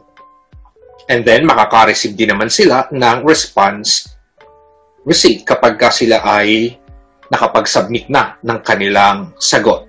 Okay? So, pag chinek natin yan, under response receipt, meron ka ulit pagpipilian if respondent request it or always. So, ikaw na teacher, bahala ka mag-decide kung anong gusto mong gawin dyan. So, sa akin, kung gusto lang naman ng estudyante ko na makareceive siya ng um, response receipt, so di, kiklik ko yon Pero kung gusto ko naman always siyang makareceive noon, ang i-click ko ay si always. And then doon sa ilalim nila, mayroong nakalagay require sign in. So, ang pinipili ko dyan since summative test or formative test ang ang sasagutan nila, limit to one response. Now, kung medyo mabait-bait ka, pwede mo siyang gawing dalawang beses or tatlong beses, then piliin mo na lang kung alin doon yung pinakamataas. Yun ang i-record mo. Yun lang, marami kang nakikitang res- number of responses more than pa sa number ng students mo sa section na yan kasi kung pauulit-ulitin mo silang mag-exam. Okay? Next, move on tayo. Punta tayo sa susunod na part which is the presentation uh, presentation settings. So, sa pres presentation settings, meron kayong makikitang tatlo sa ilalim. So, si andyan si show progress bar, shuffle question order, tsaka si show link submit another response. So, ano nga ba yung show progress bar? So, yung show progress bar na yan, it indicates how many pages of questions are finished and how many are still left na hindi pa nasasagutan that needs to be completed by your students. So, kung gusto mo, makita niya yun kung ilan pa yung sasagutan niyang, ilang pages pa ang dapat niyang sagutan at ilang pages na ang natapos niya, check mo siya. Okay? Next, proceed tayo doon sa second, shuffle question order. So, ito naman yung, um, kung gusto mo siyang i-click, ibig sabihin, ang gusto mo mangyari sa quiz mo or sa summative test mo, nagkakaroon ng rearrangement of questions in random. So maganda naman na i-click natin siya para mag-prevent natin yung kopyahan ng mga estudyante natin, especially kung mga cellphones yung gamit tapos magkakasama sila. Kasi yung number 1 ni student A, possible number 9 ni student B. Tapos possible din naman na number 4 ni student C. Even yung mga choices ng mga ng mga answers nag-shuffle yun. Okay, so maganda 'di ba? Walang kopyahan. Okay, sabay-sabay man sila mag-exam, magkakaiba naman yung mga tanong na nakikita nila. Okay, next one. Show link to submit another response. So, for sure na observe at saka na-experience nyo na yan. During those times na nagwe-webinar tayo, gamit mo si cellphone, um, mag-i-evaluate ka, magsasagot ka, mag, uh, ano, mag, magre-register ka para sa attendance. Hihingan ka ng ganyan sa dulo pag natapos mo na siya. Submit another response. So kung meron kang kasamahan na mag-attendance din or magre-register ulit, yun lang i-click mo. So kung gusto mo na ganun, kasi baka meron kang students na magkakamag-anak, magpinsan, magkapatid, di ba? Tapos isang gadget lang ang ginagamit nila, pwede naman yan. And then, makaka-receive naman sila ng your response has been recorded. Okay, next. Punta tayo sa quiz settings. Okay, so since quiz in, uh, formative or summative test ang ginagawa natin, syempre, make this a quiz ang gagawin natin dyan. So, click lang natin siya, turn it on para maging quiz siya. And then, doon sa ilalim, meron tayong nakita release grade. Meron tayong two choices. Okay, immediately after each submission or later after manual review. So, ako ang kiniklik ko dyan, yung immediately after each submission. So, right after i-submit ng bata yung kanyang um, output, makikita niya agad ko ilan yung kanyang score. But if you don't like it, edi dun ka sa pangalawa sa later manual review. So if you set the, re the release grade option to later after manual review, you can click release scores on the response uh, responses tab. Tapos, to email out the grades to the student. So, marireceive na lang ng bata yung score niya sa email na ginawa niya kanina, yung doon sa bandang first part natin. Tapos, pwede kang magdagdag doon ng optional message mo. So, it's up to you na, anak, medyo sa ganitong part ka ng lesson mababa, pag-aralan mo ulit mabuti yan. So, pwede kang magdagdag ng gano'n. Na nakakatawa, medyo personal yung dating sa estudyante, no? Pero, kung gusto mo naman immediately, nakikita ng bata yung score niya, kung ilan siya, dun tayo sa first um, choice. And then, after natin doon sa release grade, meron ulit tayo makikita doon sa ilalim, yung respondent can see ano-ano ba yung mga gusto mong makita ng respondents or ng students mo. Merong tatlo. Meron tayong missed questions, correct answers, at saka point values. Doon sa missed questions, para makita mo ko, para makita ng estudyante or ng respondents, ay meron akong nalaktawan. Pwede kong balikan. Pero to prevent that, pwede kasi pag gumagawa na tayo ng quiz mamaya, palagi kayong merong i-click na required, required, required. So magkakaroon ng asterisk yung portion na yon hindi makaka-proceed sa next question yung ating respondent or student unless sagutan niya muna yung nasa screen niya para maiwasan natin si miss, missed questions. Okay? Now, you may also click the second one para nakikita naman ng mga bata kung ano yung correct answer. Ah, yung pala yung tamang sagot doon. Um, kaya pala mali ako, yung pala yung sagot doon, no? Ganun yun.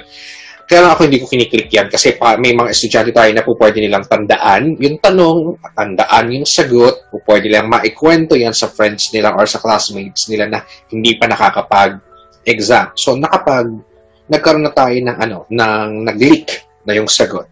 Okay, and then the third one is point values. So maganda rin to if you want your students or respondents to see ilan na yung um, uh, ilan yung points niya dahil sa tama ang sagot niya. So po pwedeng nagkakaroon siya ng mental calculation doon sa, oh, number 1, 2 points para yung sag, um, sagot doon pagka tama ako. Sa number 5 pala, 5 points para yung yung magiging additional score ko kapag naitama ko yung sagot kasi nakikita naman nila yung point values. And then, doon sa right lower, meron kayo makikita dyan na cancel or save. So, depende. Kung ayaw mo yung mga napili mong setting kanina, edi cancel mo.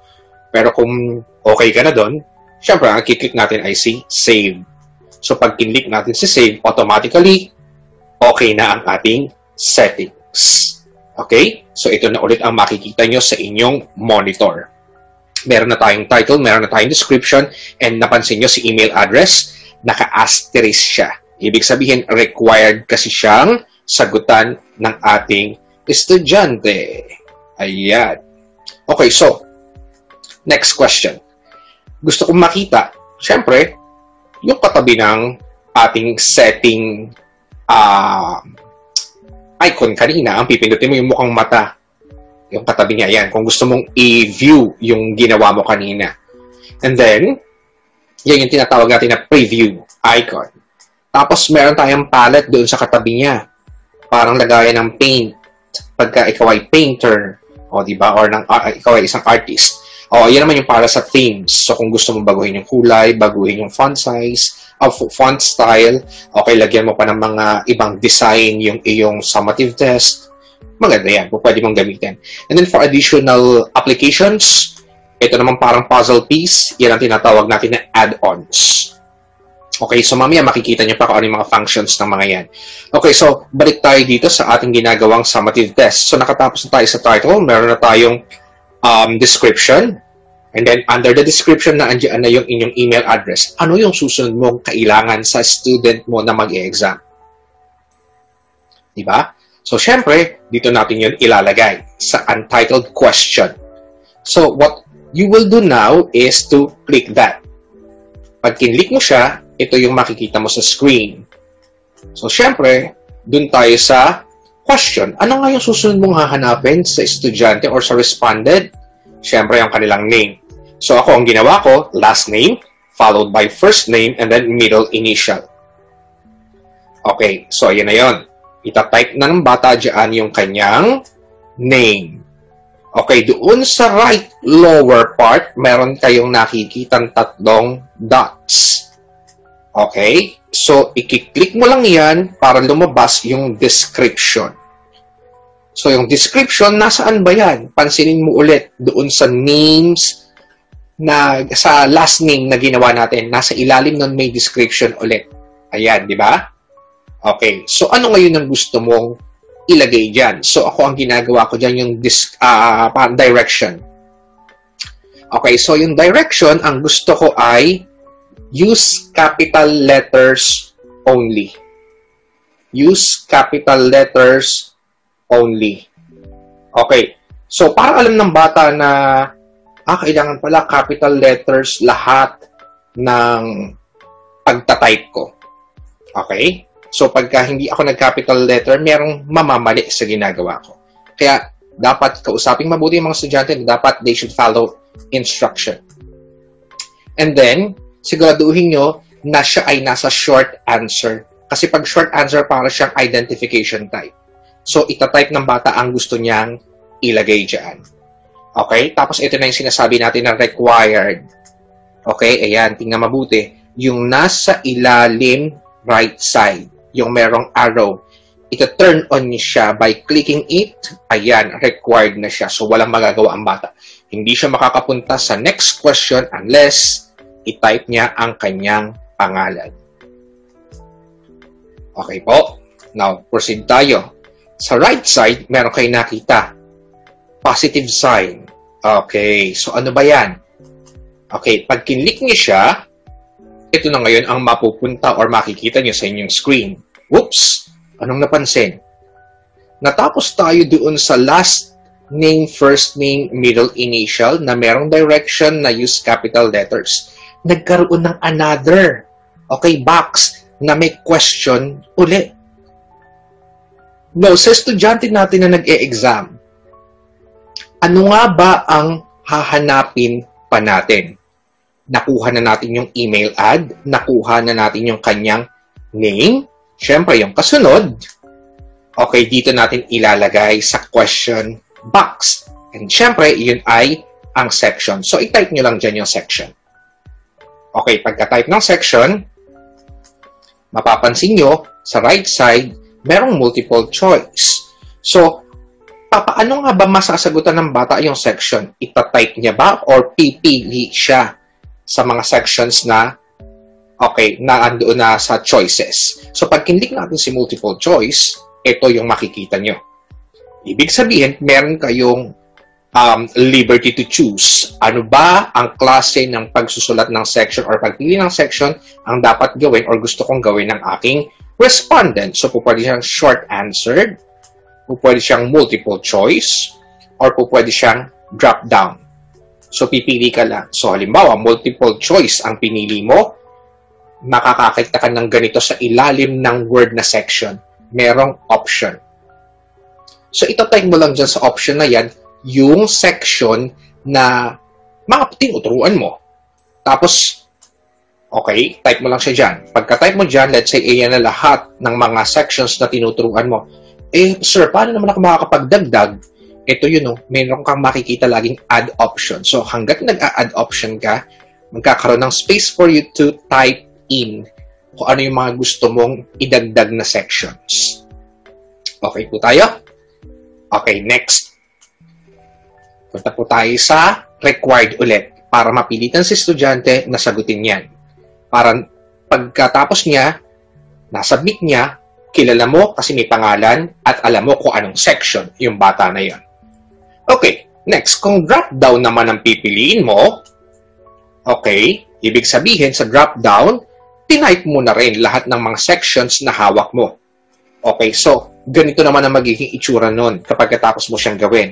Merong nakasulat na section, tapos meron nakalagay choose, at tapos arrow down. Kiklik lang ng bata yung arrow down, and then lalabas na diyan lahat ng choices ng section, tapos pipili na lang siya kung anong section siya. Ganun po yung sa drop down. Okay? Next, pindutin ulit natin si required para mapilitan ng estudyante na sagutan yung portion na yan. Okay, so let's move on. Ayan, nadagdagan po. Napansin niyo po sa right side, yung equal sign na ikinulong ko ulit sa yellow box. So, para saan yan? Kasi tapos na po ako. Meron na po akong um, email address ng bata. Meron na po akong complete name ng bata. Nakuha ko na rin yung section niya. So, I am now ready to type in the questions na sasagutan ng bata. So, para mangyari yon kinakailangan natin mag-add ng section. So, ibig sabihin, ihihiwalay na yung portion na una nating ginawa. Okay, so pagka-click natin doon, ito na yung makikita natin. Section title. So, sa section title, ano ba ang gusto mong ilagay? Ano rin ang gusto mong ilagay doon sa description? Okay, ako ang ginagawa ko dyan, ayan. Ginawa ko siyang part 1. Kung may part 1, part 2, part 3, bahala kayo. Kada part, pwede kayong magdagdag ng section. Okay, so para sa akin, ang gusto ko, part 1, tapos multiple choice or multiple choices. And then, ang lagay ko sa description ay choose the correct answer. Okay, so paano yan? Pagkatapos niyan, okay, may makikita kayo ulit, question. Okay, so ibig sabihin, pwede ka na mag-type ng first question mo doon. Okay, so pag kinlik mo si question, ito na ngayon ang susunod na makikita mo. Pag kinlik mo si question, pwede mo nang i-type si question or punta ka doon sa right side ni question na nandoon si multiple choice, ayan yung lalabas. Short answer. Ibig sabihin yan, baka parang identification type ang gusto mong mangyari. Or po pwede rin namang paragraph. Or po pwede rin namang multiple choice. Pwede rin checkboxes. Or drop down. Or file upload. So, ibig sabihin, yun yung different types of questions and answers na po pwede mong ipagawa sa bata. Pipili ka lang dyan. Okay, so, Let's say, ang pinili nating una ay short answer. So, pag short answer, ito yung example natin ha, naka-short answer tayo. And then, ito yung tanong. It is the origin of an earthquake found below the epicenter. So, dahil short question yan, para siyang identification type. Okay, so i-require natin siya ulit ha, yung nasa right lower part para mapilitan ang estudyante na sagutin yan at hindi siya makakaproceed sa next question without answering this one. Okay, let's say ayaw mo yan. Gusto mo na siyang tanggalin o di i-click mo lang to para ma-delete. Or, ah, kailangan ko pa yung question na to, i-edit ko lang ng konti para medyo makita ko kung talagang naiintindihan ng estudyante yung tanong na yan at kung talagang alam niya yung sagot. Pwede mo siyang ulitin i-rephrase mo lang, okay, pwede mo siyang i-duplicate.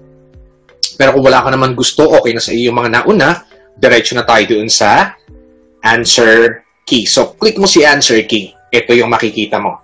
Okay, pag kinlik mo si answer key, it will bring you to this page. Okay, so sa nakikita natin sa screen ngayon, andyan pa rin si question. Okay, pero sa right side, mayroong nakalagay points.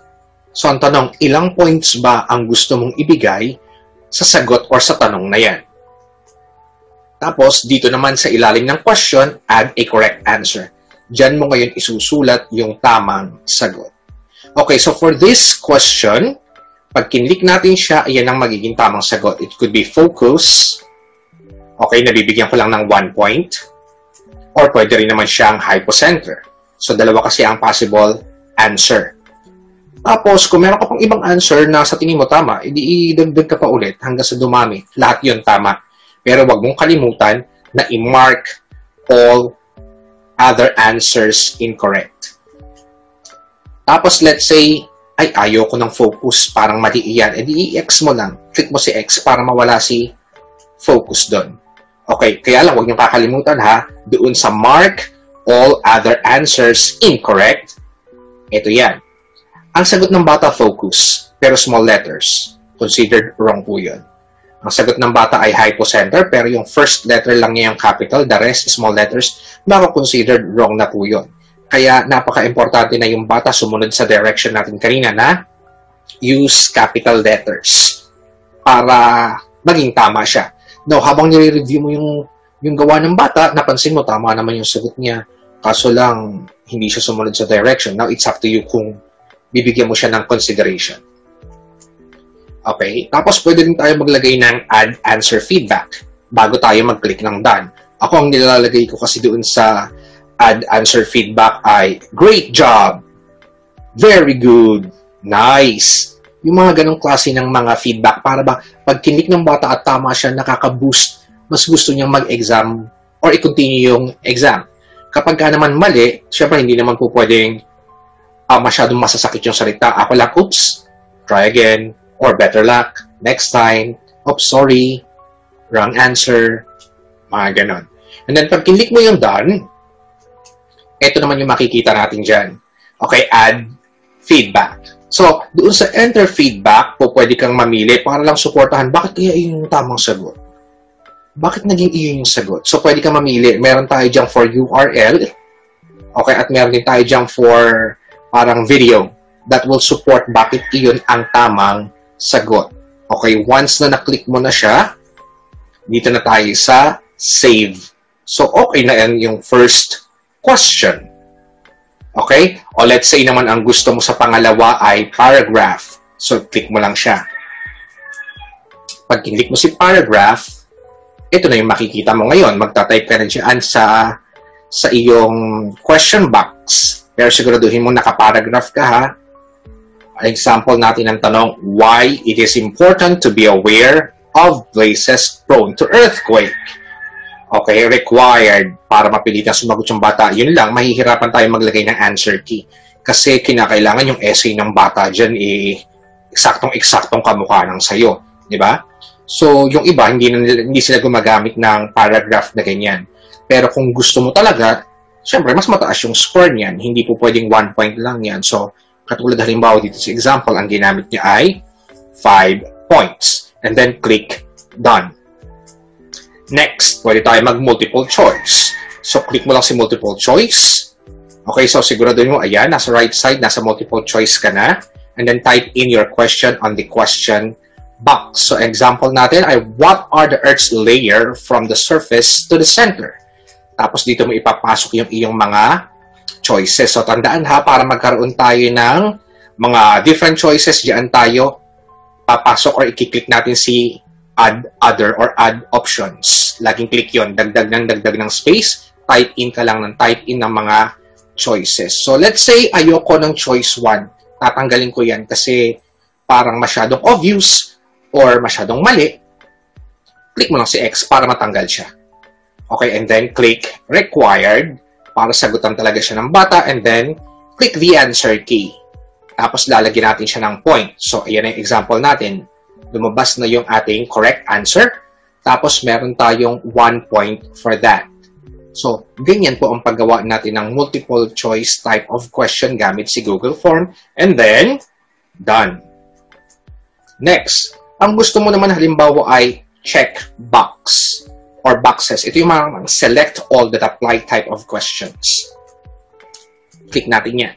So, ayan tayo, nasa check boxes tayo and then you have here the question example question natin ay check all the boxes that are considered wise practices during an earthquake. Then, naka-enumerate dyan yung lahat ng sagot natin. Okay, so anong gagawin ng bata dyan? Checkan lang nila kung ano yung mga wise practices during an earthquake. So, click natin si answer key. Ayan yung nasa left lower kasama si points. Tapos, ilalagay mo dyan kung ano yung mga tamang sagot.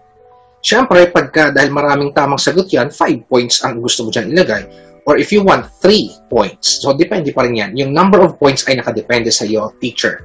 Kung ilan ang gusto mong ilagay. So, sa akin halimbawa, for yung correct answers, ginawa ko siyang 5 points kasi medyo mag-a-analyze at mag-iisip talaga yung bata dyan. And then, ayan, do not forget to click again, done. Okay, next type of question is the drop down. Yung drop down, ito yung parang kanina, yung parang sa pagpili ng mga students natin ng, ng section. O, so maglalagay ka lang din ng tanong, tapos pipili lang sila, parang ng sagot, parang multiple choice type din siya ng question, kaya lang drop down ang tawag. Okay, next. Punta na tayo sa file upload. Pag kinlik natin si file upload, ibig sabihin, ganito yan. Ito na si click, ah, ito na si file upload. So, siguradong iyan ang type ng question na gusto mo mangyari. So, here, sa question box, okay, dyan natin itatype yung question natin, pero meron tayong makikita sa ilalim, yung allow only specific file types. So, ito turn on natin yan. So, halimbawa, ganito. Ito yung ginawa nating tanong. Collaborate with any of your siblings, parents, cousins, or friends to make an awareness campaign. Okay, slogan, song jingle, or poster about natural calamities. Please upload your file here. Pero anong klaseng file? So, ayan yung different types of files na po pwedeng gawin ng bata. Pero, pipili ka lang dyan kung anong gusto mong file na ipasa sa iyo ng um, student mo. So, halimbawa, pipiliin ko ay document, video, image, and audio. So, iyan lang ang po pwede. Mamimili lang yung bata dyan sa apat na yan. And then, I have here maximum number of files. So, syempre, isa lang ipapasa niya. Pili siya dyan. Document ba? Video ba? Image ba? Or audio? And then, meron tayong maximum file size. 10 um, megabytes. Or adjustable din naman po yan.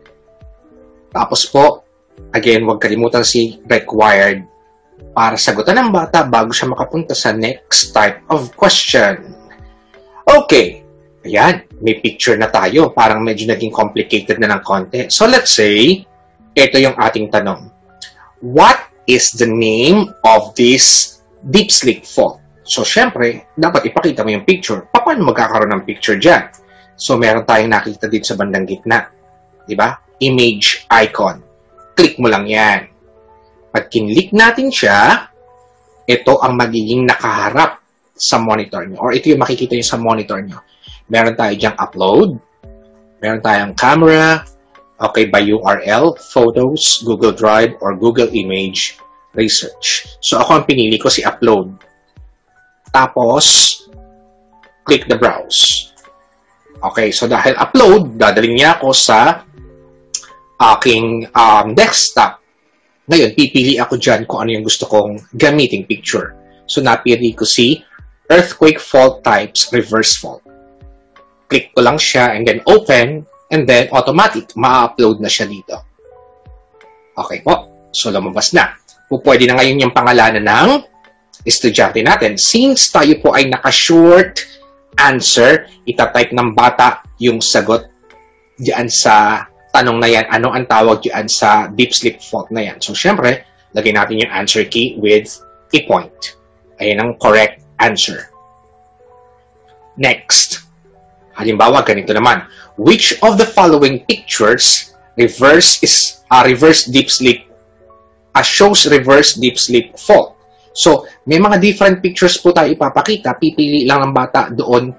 Alin sa mga pictures na yon ang nagpapakita ng reverse deep sleep fault? So, paano tayo ngayon magpapasok ng pictures sa choices? tingnan natin mabuti yung option. Di ba? Diyan natin itatype yung sagot kung tayo po ay naka-multiple choice type of question. Pero, dahil picture ang kailangan natin, makikita nyo po doon sa kanyang right side, again, ang add image. So, i-click nyo lang po yun. Pag-click nyo dyan, dadaling kayo ulit dito sa upload, camera, okay, by URL, photos, Google Drive, and Google Image Search. Parang yung kanina lang din, and then, click nyo lang yung browse, tapos lalabas na po ulit dyan yung picture na gusto nyong lumabas. Okay? Okay, next po tayo. Proceed tayo dito. Tingin kayo sa inyong right side. Meron kayo nakita nagkaroon ng rectangular box na kulay blue. Marami tayong mga icons dyan. Ayan, yung positive sign. Iyan po ay para sa add questions. So, kanina, yan yung pinagdaanan natin. Kung mag-add ka na ng question number 2, click mo lang yan. Mag-a-add ka na ng question number 3, i-click mo lang ulit siya. Okay, next we have here import questions. So kung gusto niyo mag-import ng questions sa sa forms, sa iba sa iba niyo pang um, summative test na nasa Google Drive, po pwede po yan, or doon sa um, Google. Po pwede rin yan, makakapag-import kayo ng question. And then meron tayo dito parang capital T, small t, Okay, iyan naman yung para sa title and description. Okay, then meron tayo dito um, add image icon. Yan. And then meron tayo dito parang play button. Actually, that is for add video. Tapos ito yung nakita natin kanina, yung equal sign. Ano nga ulit yan? Pag equal sign, ibig sabihin yan ay add section. O di mo ba natatandaan nyo kanina? Nakahiwalay po yung section ng name, email address, tsaka section tapos nakahiwalay yung questions. Kasi para pag shuffle natin yung questions, hindi po mapasama sa magsha-shuffle yung email add, name, and section. Yun yun, reason kung bakit kinakailangan nakahiwalay sila ng section. So, on this part, piliin natin si import questions. Click natin. So, pag kinlik natin si import question, type nyo lang dyan. Let's say gusto kong maghanap ng mga questions sa forms or sa Google Forms. Tapos, nakita ko na yung hinahanap ko. Dito ko mag-i-import ng question. So, syempre, isa-select ko siya. Pag kinlik ko na si select, ito na po yung susunod na makikita nyo sa inyong screen or monitor. Pwede nyo piliin si select all. Ibig sabihin, lahat ng questions na nandoon, pinipili mo. Or pwede ka lang pumili ng portion of it. Let's say, ang pinili ko lang si true or false. So, lahat ng true or false questions doon sa napili mong exam kanina, yun lang ang mai-import mo. So, halimbawa, si true or false lang, 16 questions yon So, siya lang yung makukuha mo. Pag kinlik mo yan, automatic po, makukuha mo na yung mga questions na nando doon. Okay? So, next, proceed po tayo doon sa susunod, which is add video. Let's say gusto mong may papanoorin muna yung bata bago ka maggagawa ng tanong or out of that video, andoon na rin yung tanong, pipili na lang ng sagot yung bata or isusulat na lang ng bata yung sagot. Okay? So, doon tayo sa add video. So, pag kinlik natin yon ito yung lalabas. So, po pwedeng video search. Pwede kumuha ng video galing sa YouTube. type mo lang dyan yung hinahanap mo. So, halimbawa, ang hinahanap ko ay plate tectonics theory. Lumabas yung mga choices, pili ka lang dyan, and then click. Okay? Masiselect mo na siya. Then, after that one, kung ayaw mo naman, meron ka na URL na ready, copy-paste mo lang yun, dikit mo lang siya dyan sa space para dyan mo ipipaste yung URL. Pagka-paste mo dyan, okay, and then select. Tapos, makukuha mo na ulit yung video na kailangan mo. Okay? So, ito na. Nakagawa na tayo ng ating exam or ng summative test. Okay, dito sa portion na to, yung sa kinulong ko ulit ng yellow rectangular box, doon mo makikita yung number of points na ginawa mo. Not items po ah, points. Kasi po pwedeng 20 points yan, pero nasa 10 items lang kasi 2 points each ang ginawa mo. Or po pwede rin naman na 1 to 15 tigwa, si single point lang yung pang number 16 mo kasi ginawa mo siyang 5 points kaya naging 20 points. So 16 items type of exam pero 20 points. Pero on my case, 20 items, tigwa 1 point, kaya 20 points lang po siya. Okay, dyan mo siya makikita. Kaya dito sa ating Google Form po pwede kang makagawa ng exam na 1 to 13 lang pero 20 points kasi depende sa inyo kung ilang points ang ibibigay nyo sa bawat item. And then if you want to know kung ilan na po yung nakapagsagot na estudyante, kiklik mo lang tong si response. Okay? Kiklik mo lang yan si response. Para makita mo kung ilan na yung sumagot. Pero sa case natin, dahil kagagawa pa lang naman natin, zero pa yung responses. Wala pang sumasagot. Okay? Ayan, zero pa siya. And then after that, kompleto na siya. Okay, gusto mo pang pagandahin, punta tayo dito sa themes. Okay, pag kinlik mo yon, ito na yung makikita natin. Ay, gusto kong dagdagan ng header. Gusto kong lagyan ng image. So, click mo lang to. Pag kinlik natin yan, ito yung makikita nyo. Meron tayong mga choices ng picture sa header. Eh, ang gusto ko ito. Yan, para chemistry yung dating, intelligent. O, pinili ko yan. So, click insert. Ayan na po yun. Napansin nyo yung aking header? Nalag nalagyan na po siya ng picture or ng image. Okay, let's say, ay, gusto kong baguhin yung theme color. Pili ka lang dyan sa mga kulay na yan. Ito po yun. Yung napansin nyo may nakasulat na section 1 of 2. Yan po yung magbabago ng kulay pag sa theme color. Pero ang gusto mong baguhin ay background, syempre dito tayo sa background color. Okay, click mo yan para magbago yung kulay ng iyong background. And then for the font style, ito yun, pag kinlik nyo yan, merong arrow down, click mo yan. So, ayan, lalabas po yung choices ng mga font style.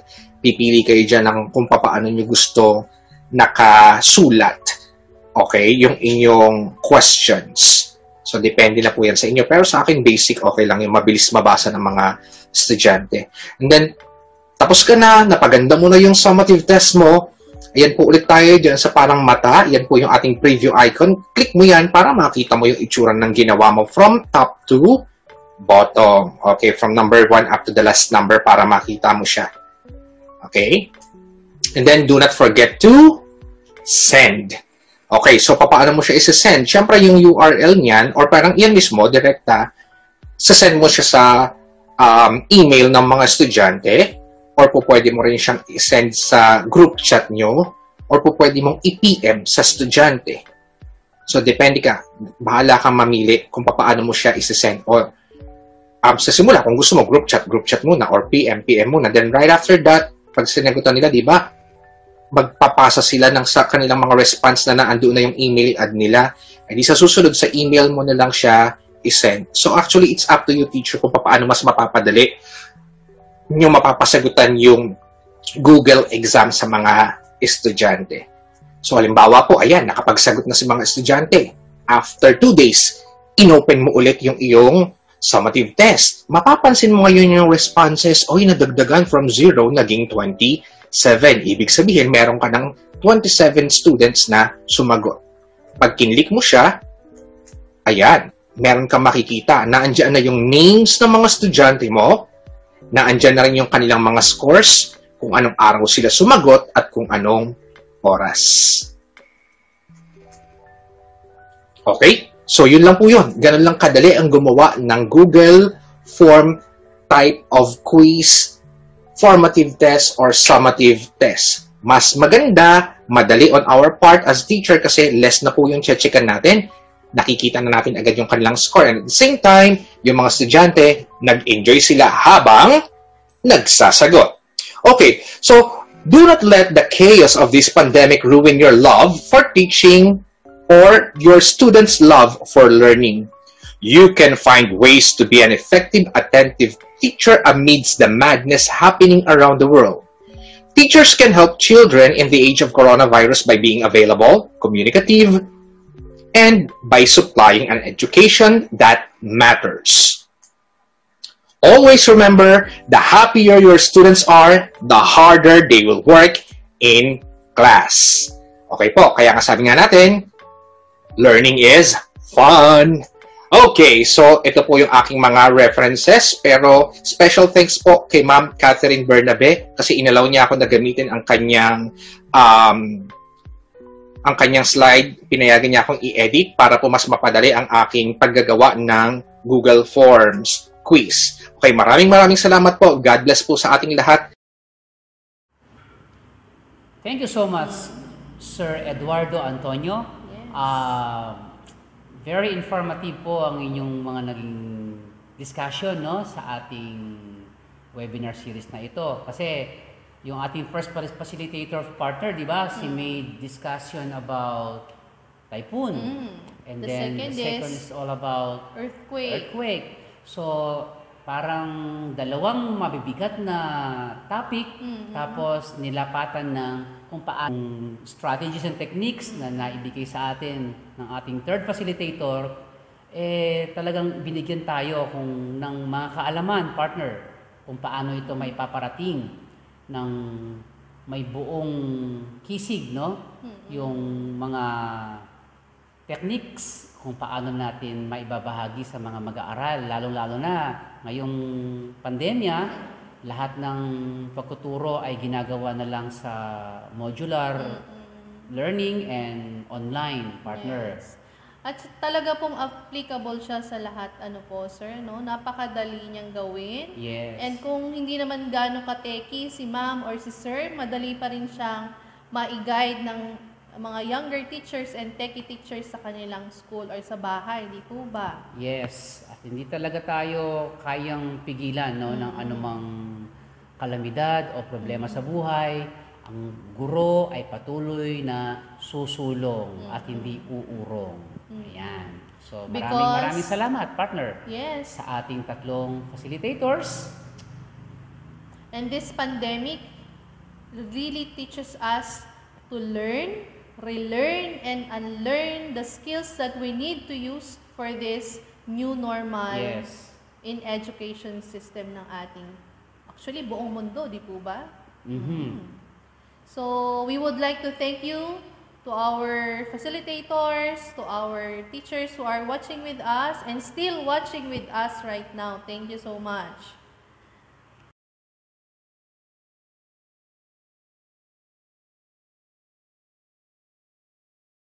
Ayan. So, questions posted by our participants on the chat box were written by us and were will be raised on this time or point of time, partner. Ayan, na naisulat po namin lahat ng mga queries ng ating mga participants and so with their questions and suggestions.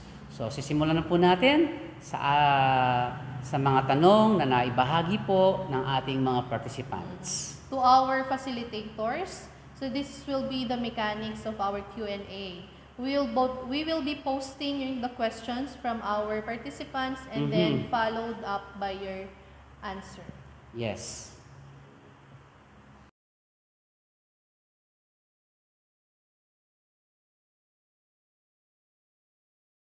Pag-asa assigns familiar yet distinctive Filipino names to typhoons for an effective recall among the public, especially those in the provinces. Practically speaking, having local typhoon names also lessens confusion. Assigning an easy to recall name to a typhoon helps draw public attention to its disastrous effect, and it also helps in disaster risk awareness and preparedness.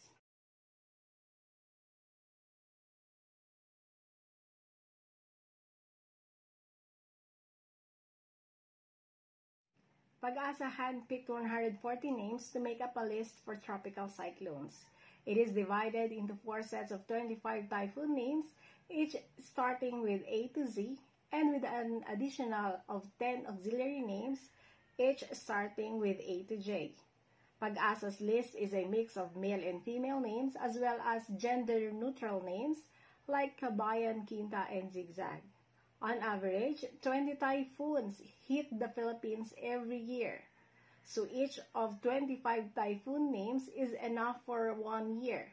In case they used all the typhoon names within the year and another storm will enter the country, Pag-asa will use the auxiliary set of names.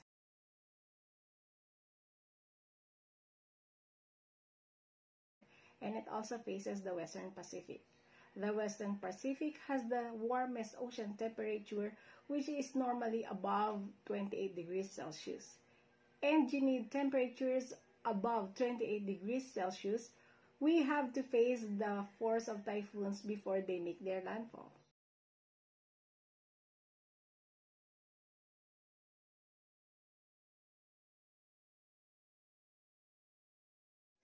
Hello teachers, good afternoon. Your first question is, how does an earthquake affect people's lives? An average of 3.5 million people is affected by an earthquake. Some of the common impacts of earthquake includes damage to buildings, homes, infrastructure, highways, and bridges, resulting in the loss of life, and sometimes it triggers tsunamis, landslides, and volcanic eruption.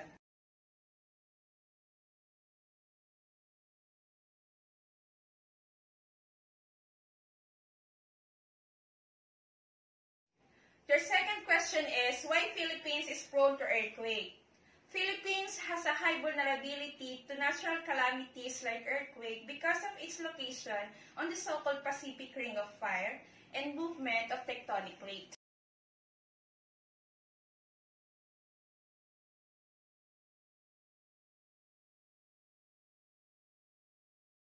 Your third question is, how can earthquakes be prevented? We cannot prevent natural calamities like earthquakes from occurring, but we can significantly mitigate their effects by identifying hazards, building safer, and providing education on earthquake safety. Good afternoon po ulit sa ating mga viewers. And I'm here for the question and answer part of our webinar series. Maraming salamat po sa mga nag-phone in at nag-chat ng kanilang mga questions. For question number one, what is the best strategy to use in this time of pandemic? Now, during my discussion kanina po, na-mention ko yung four different strategies na sinasuggest po ng Department of Education sa kanilang memorandum. So, ito po yung modular distance learning, online distance learning, TV video or radio-based instruction, and the blended distance learning. So ito po yung apat na po pwede natin pagpilian. Now to answer what is the best strategy strategy to use, um, ang personal answer ko po dyan eh, based po, uh, depende po yan sa, sa situation po ng inyong mga learners and of course doon po sa topic na i-discuss or gusto nyong matutunan ng inyong mga estudyante. Now, kung pipili ako doon sa apat, ang pipiliin ko po ay yung blended because doon po sa blended po pwede po nating ma i-consider yung situation ng ating mga estudyante, kung meron ba silang kakayanan sa online or meron ba silang internet connection sa bahay. Kung wala naman po ay magmo-modular sila or baka meron silang TV or radio sa bahay kasi yung blended po ay combination of the different strategies na best na dapat po nating gamitin during pandemic time. So, ang ma-suggest ko po ay yung blended po.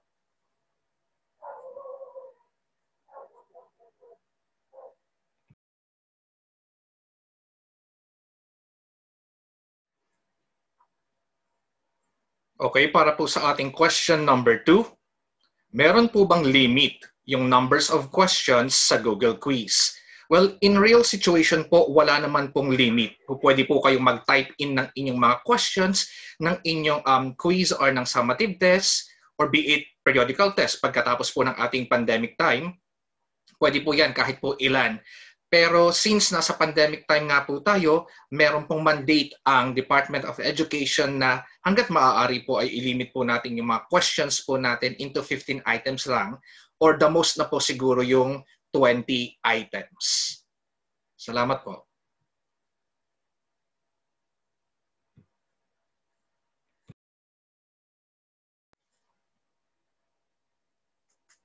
Okay, for question number three, can we control or manage the time when should the students answer the Google quiz?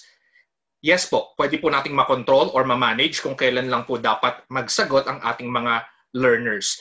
Hindi lang po napakita doon sa aking presentation, pero nabanggit ko naman po yung add-ons. Okay, yung add-ons po, kahilera po siya ng themes at saka ng settings. Okay, yung pong parang puzzle icon. Click nyo lang po yun and then download nyo po yung form limiter.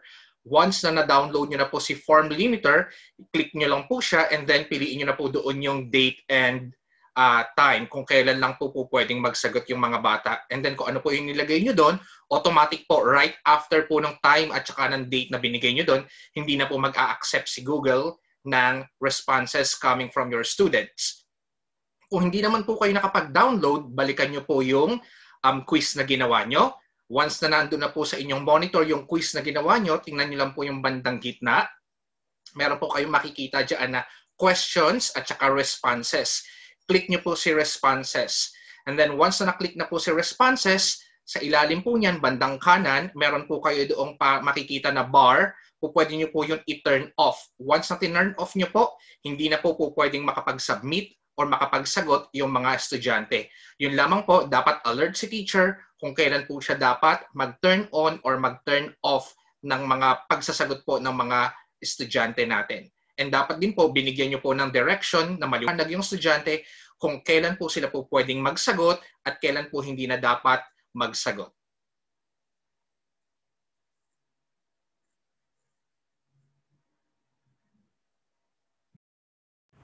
Thank you so much to all our very smart and well-oriented facilitators. So salamat sa mga naging sagot ninyo mula sa mga katanungan ng ating mga participants. So may mga tanong pa mga partner, partner ng mga hindi pa na, na, nabigyan ng kasagutan pero mabibigyan po ng tugon yan mula sa ating mga facilitators basta na-retrieve lang po sa ating Facebook page yes. At saka sa ating Bataan Science Channel ang ating uh, webinar series na ito. Mm-hmm. And to give us her closing remarks, she is the woman behind this team, Orion. Let us welcome our district science coordinator, a school principal one of Pablo Roman Elementary School. Let's give her a virtual clap. Mrs. Jocelyn M. Reyes.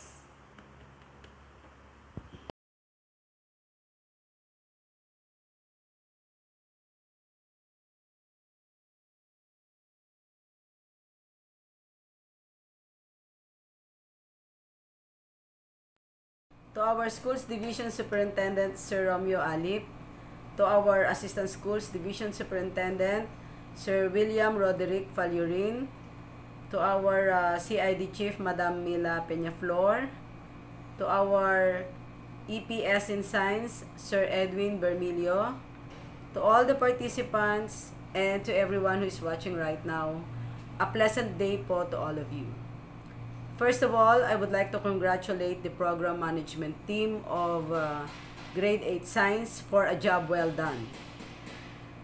Our uh, gratitude also to Sir Edwin Bermilio, our EPS in Science, for uh, giving us the opportunity to take part in this great endeavor. Indeed, it was an honor, sir. In conclusion, let me pose this challenge to all the participants of this webinar. We have just done our part in our mission to uplift the quality of science education in our division. It's now your turn to impart yours by applying what you have learned from this webinar as you teach your students under the new normal and in whatever learning delivery modalities you use. Again, thank you very much. Good day and God bless us all.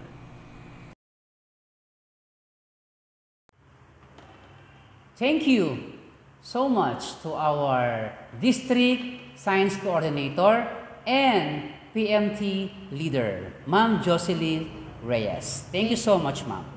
Yes. Thank you so much. And for those who are not yet done with our evaluation and post test, we will be posting here the link so you could um, register or try to answer those evaluation given to us. Yes, and before we end, we also would like to thank to uh, our program management team in Orion, yes. the technical team, the program management team, the facilitators, ayan, and The our moderators. Uh, yes, for us moderators, thank you so much, Ma'am Jessa. And Sir Joel. Yes, thank you also Thank to you so our much, to sir. all our P, uh, PSDS, especially to Dr. Minerva Rillo. Yes, thank you, ma'am. Yes, thank you to our EPS in Science, Dr. Edwin R. Bermilio. Thank you so much po. And with that, let us always keep in mind to um, relearn, unlearn, and learn, especially in this new normal. For us teachers, it's important and it's very, very important. Yes. So, to end this, it's my honor to present to you my partner, Sir Mhm. Joel Cayabyab of Bataan School of Fisheries. And my partner, Ma'am Jessa Destresa of the Anpare Elementary School, saying, we're signing off. Thank you and Mabuhay. mabuhay.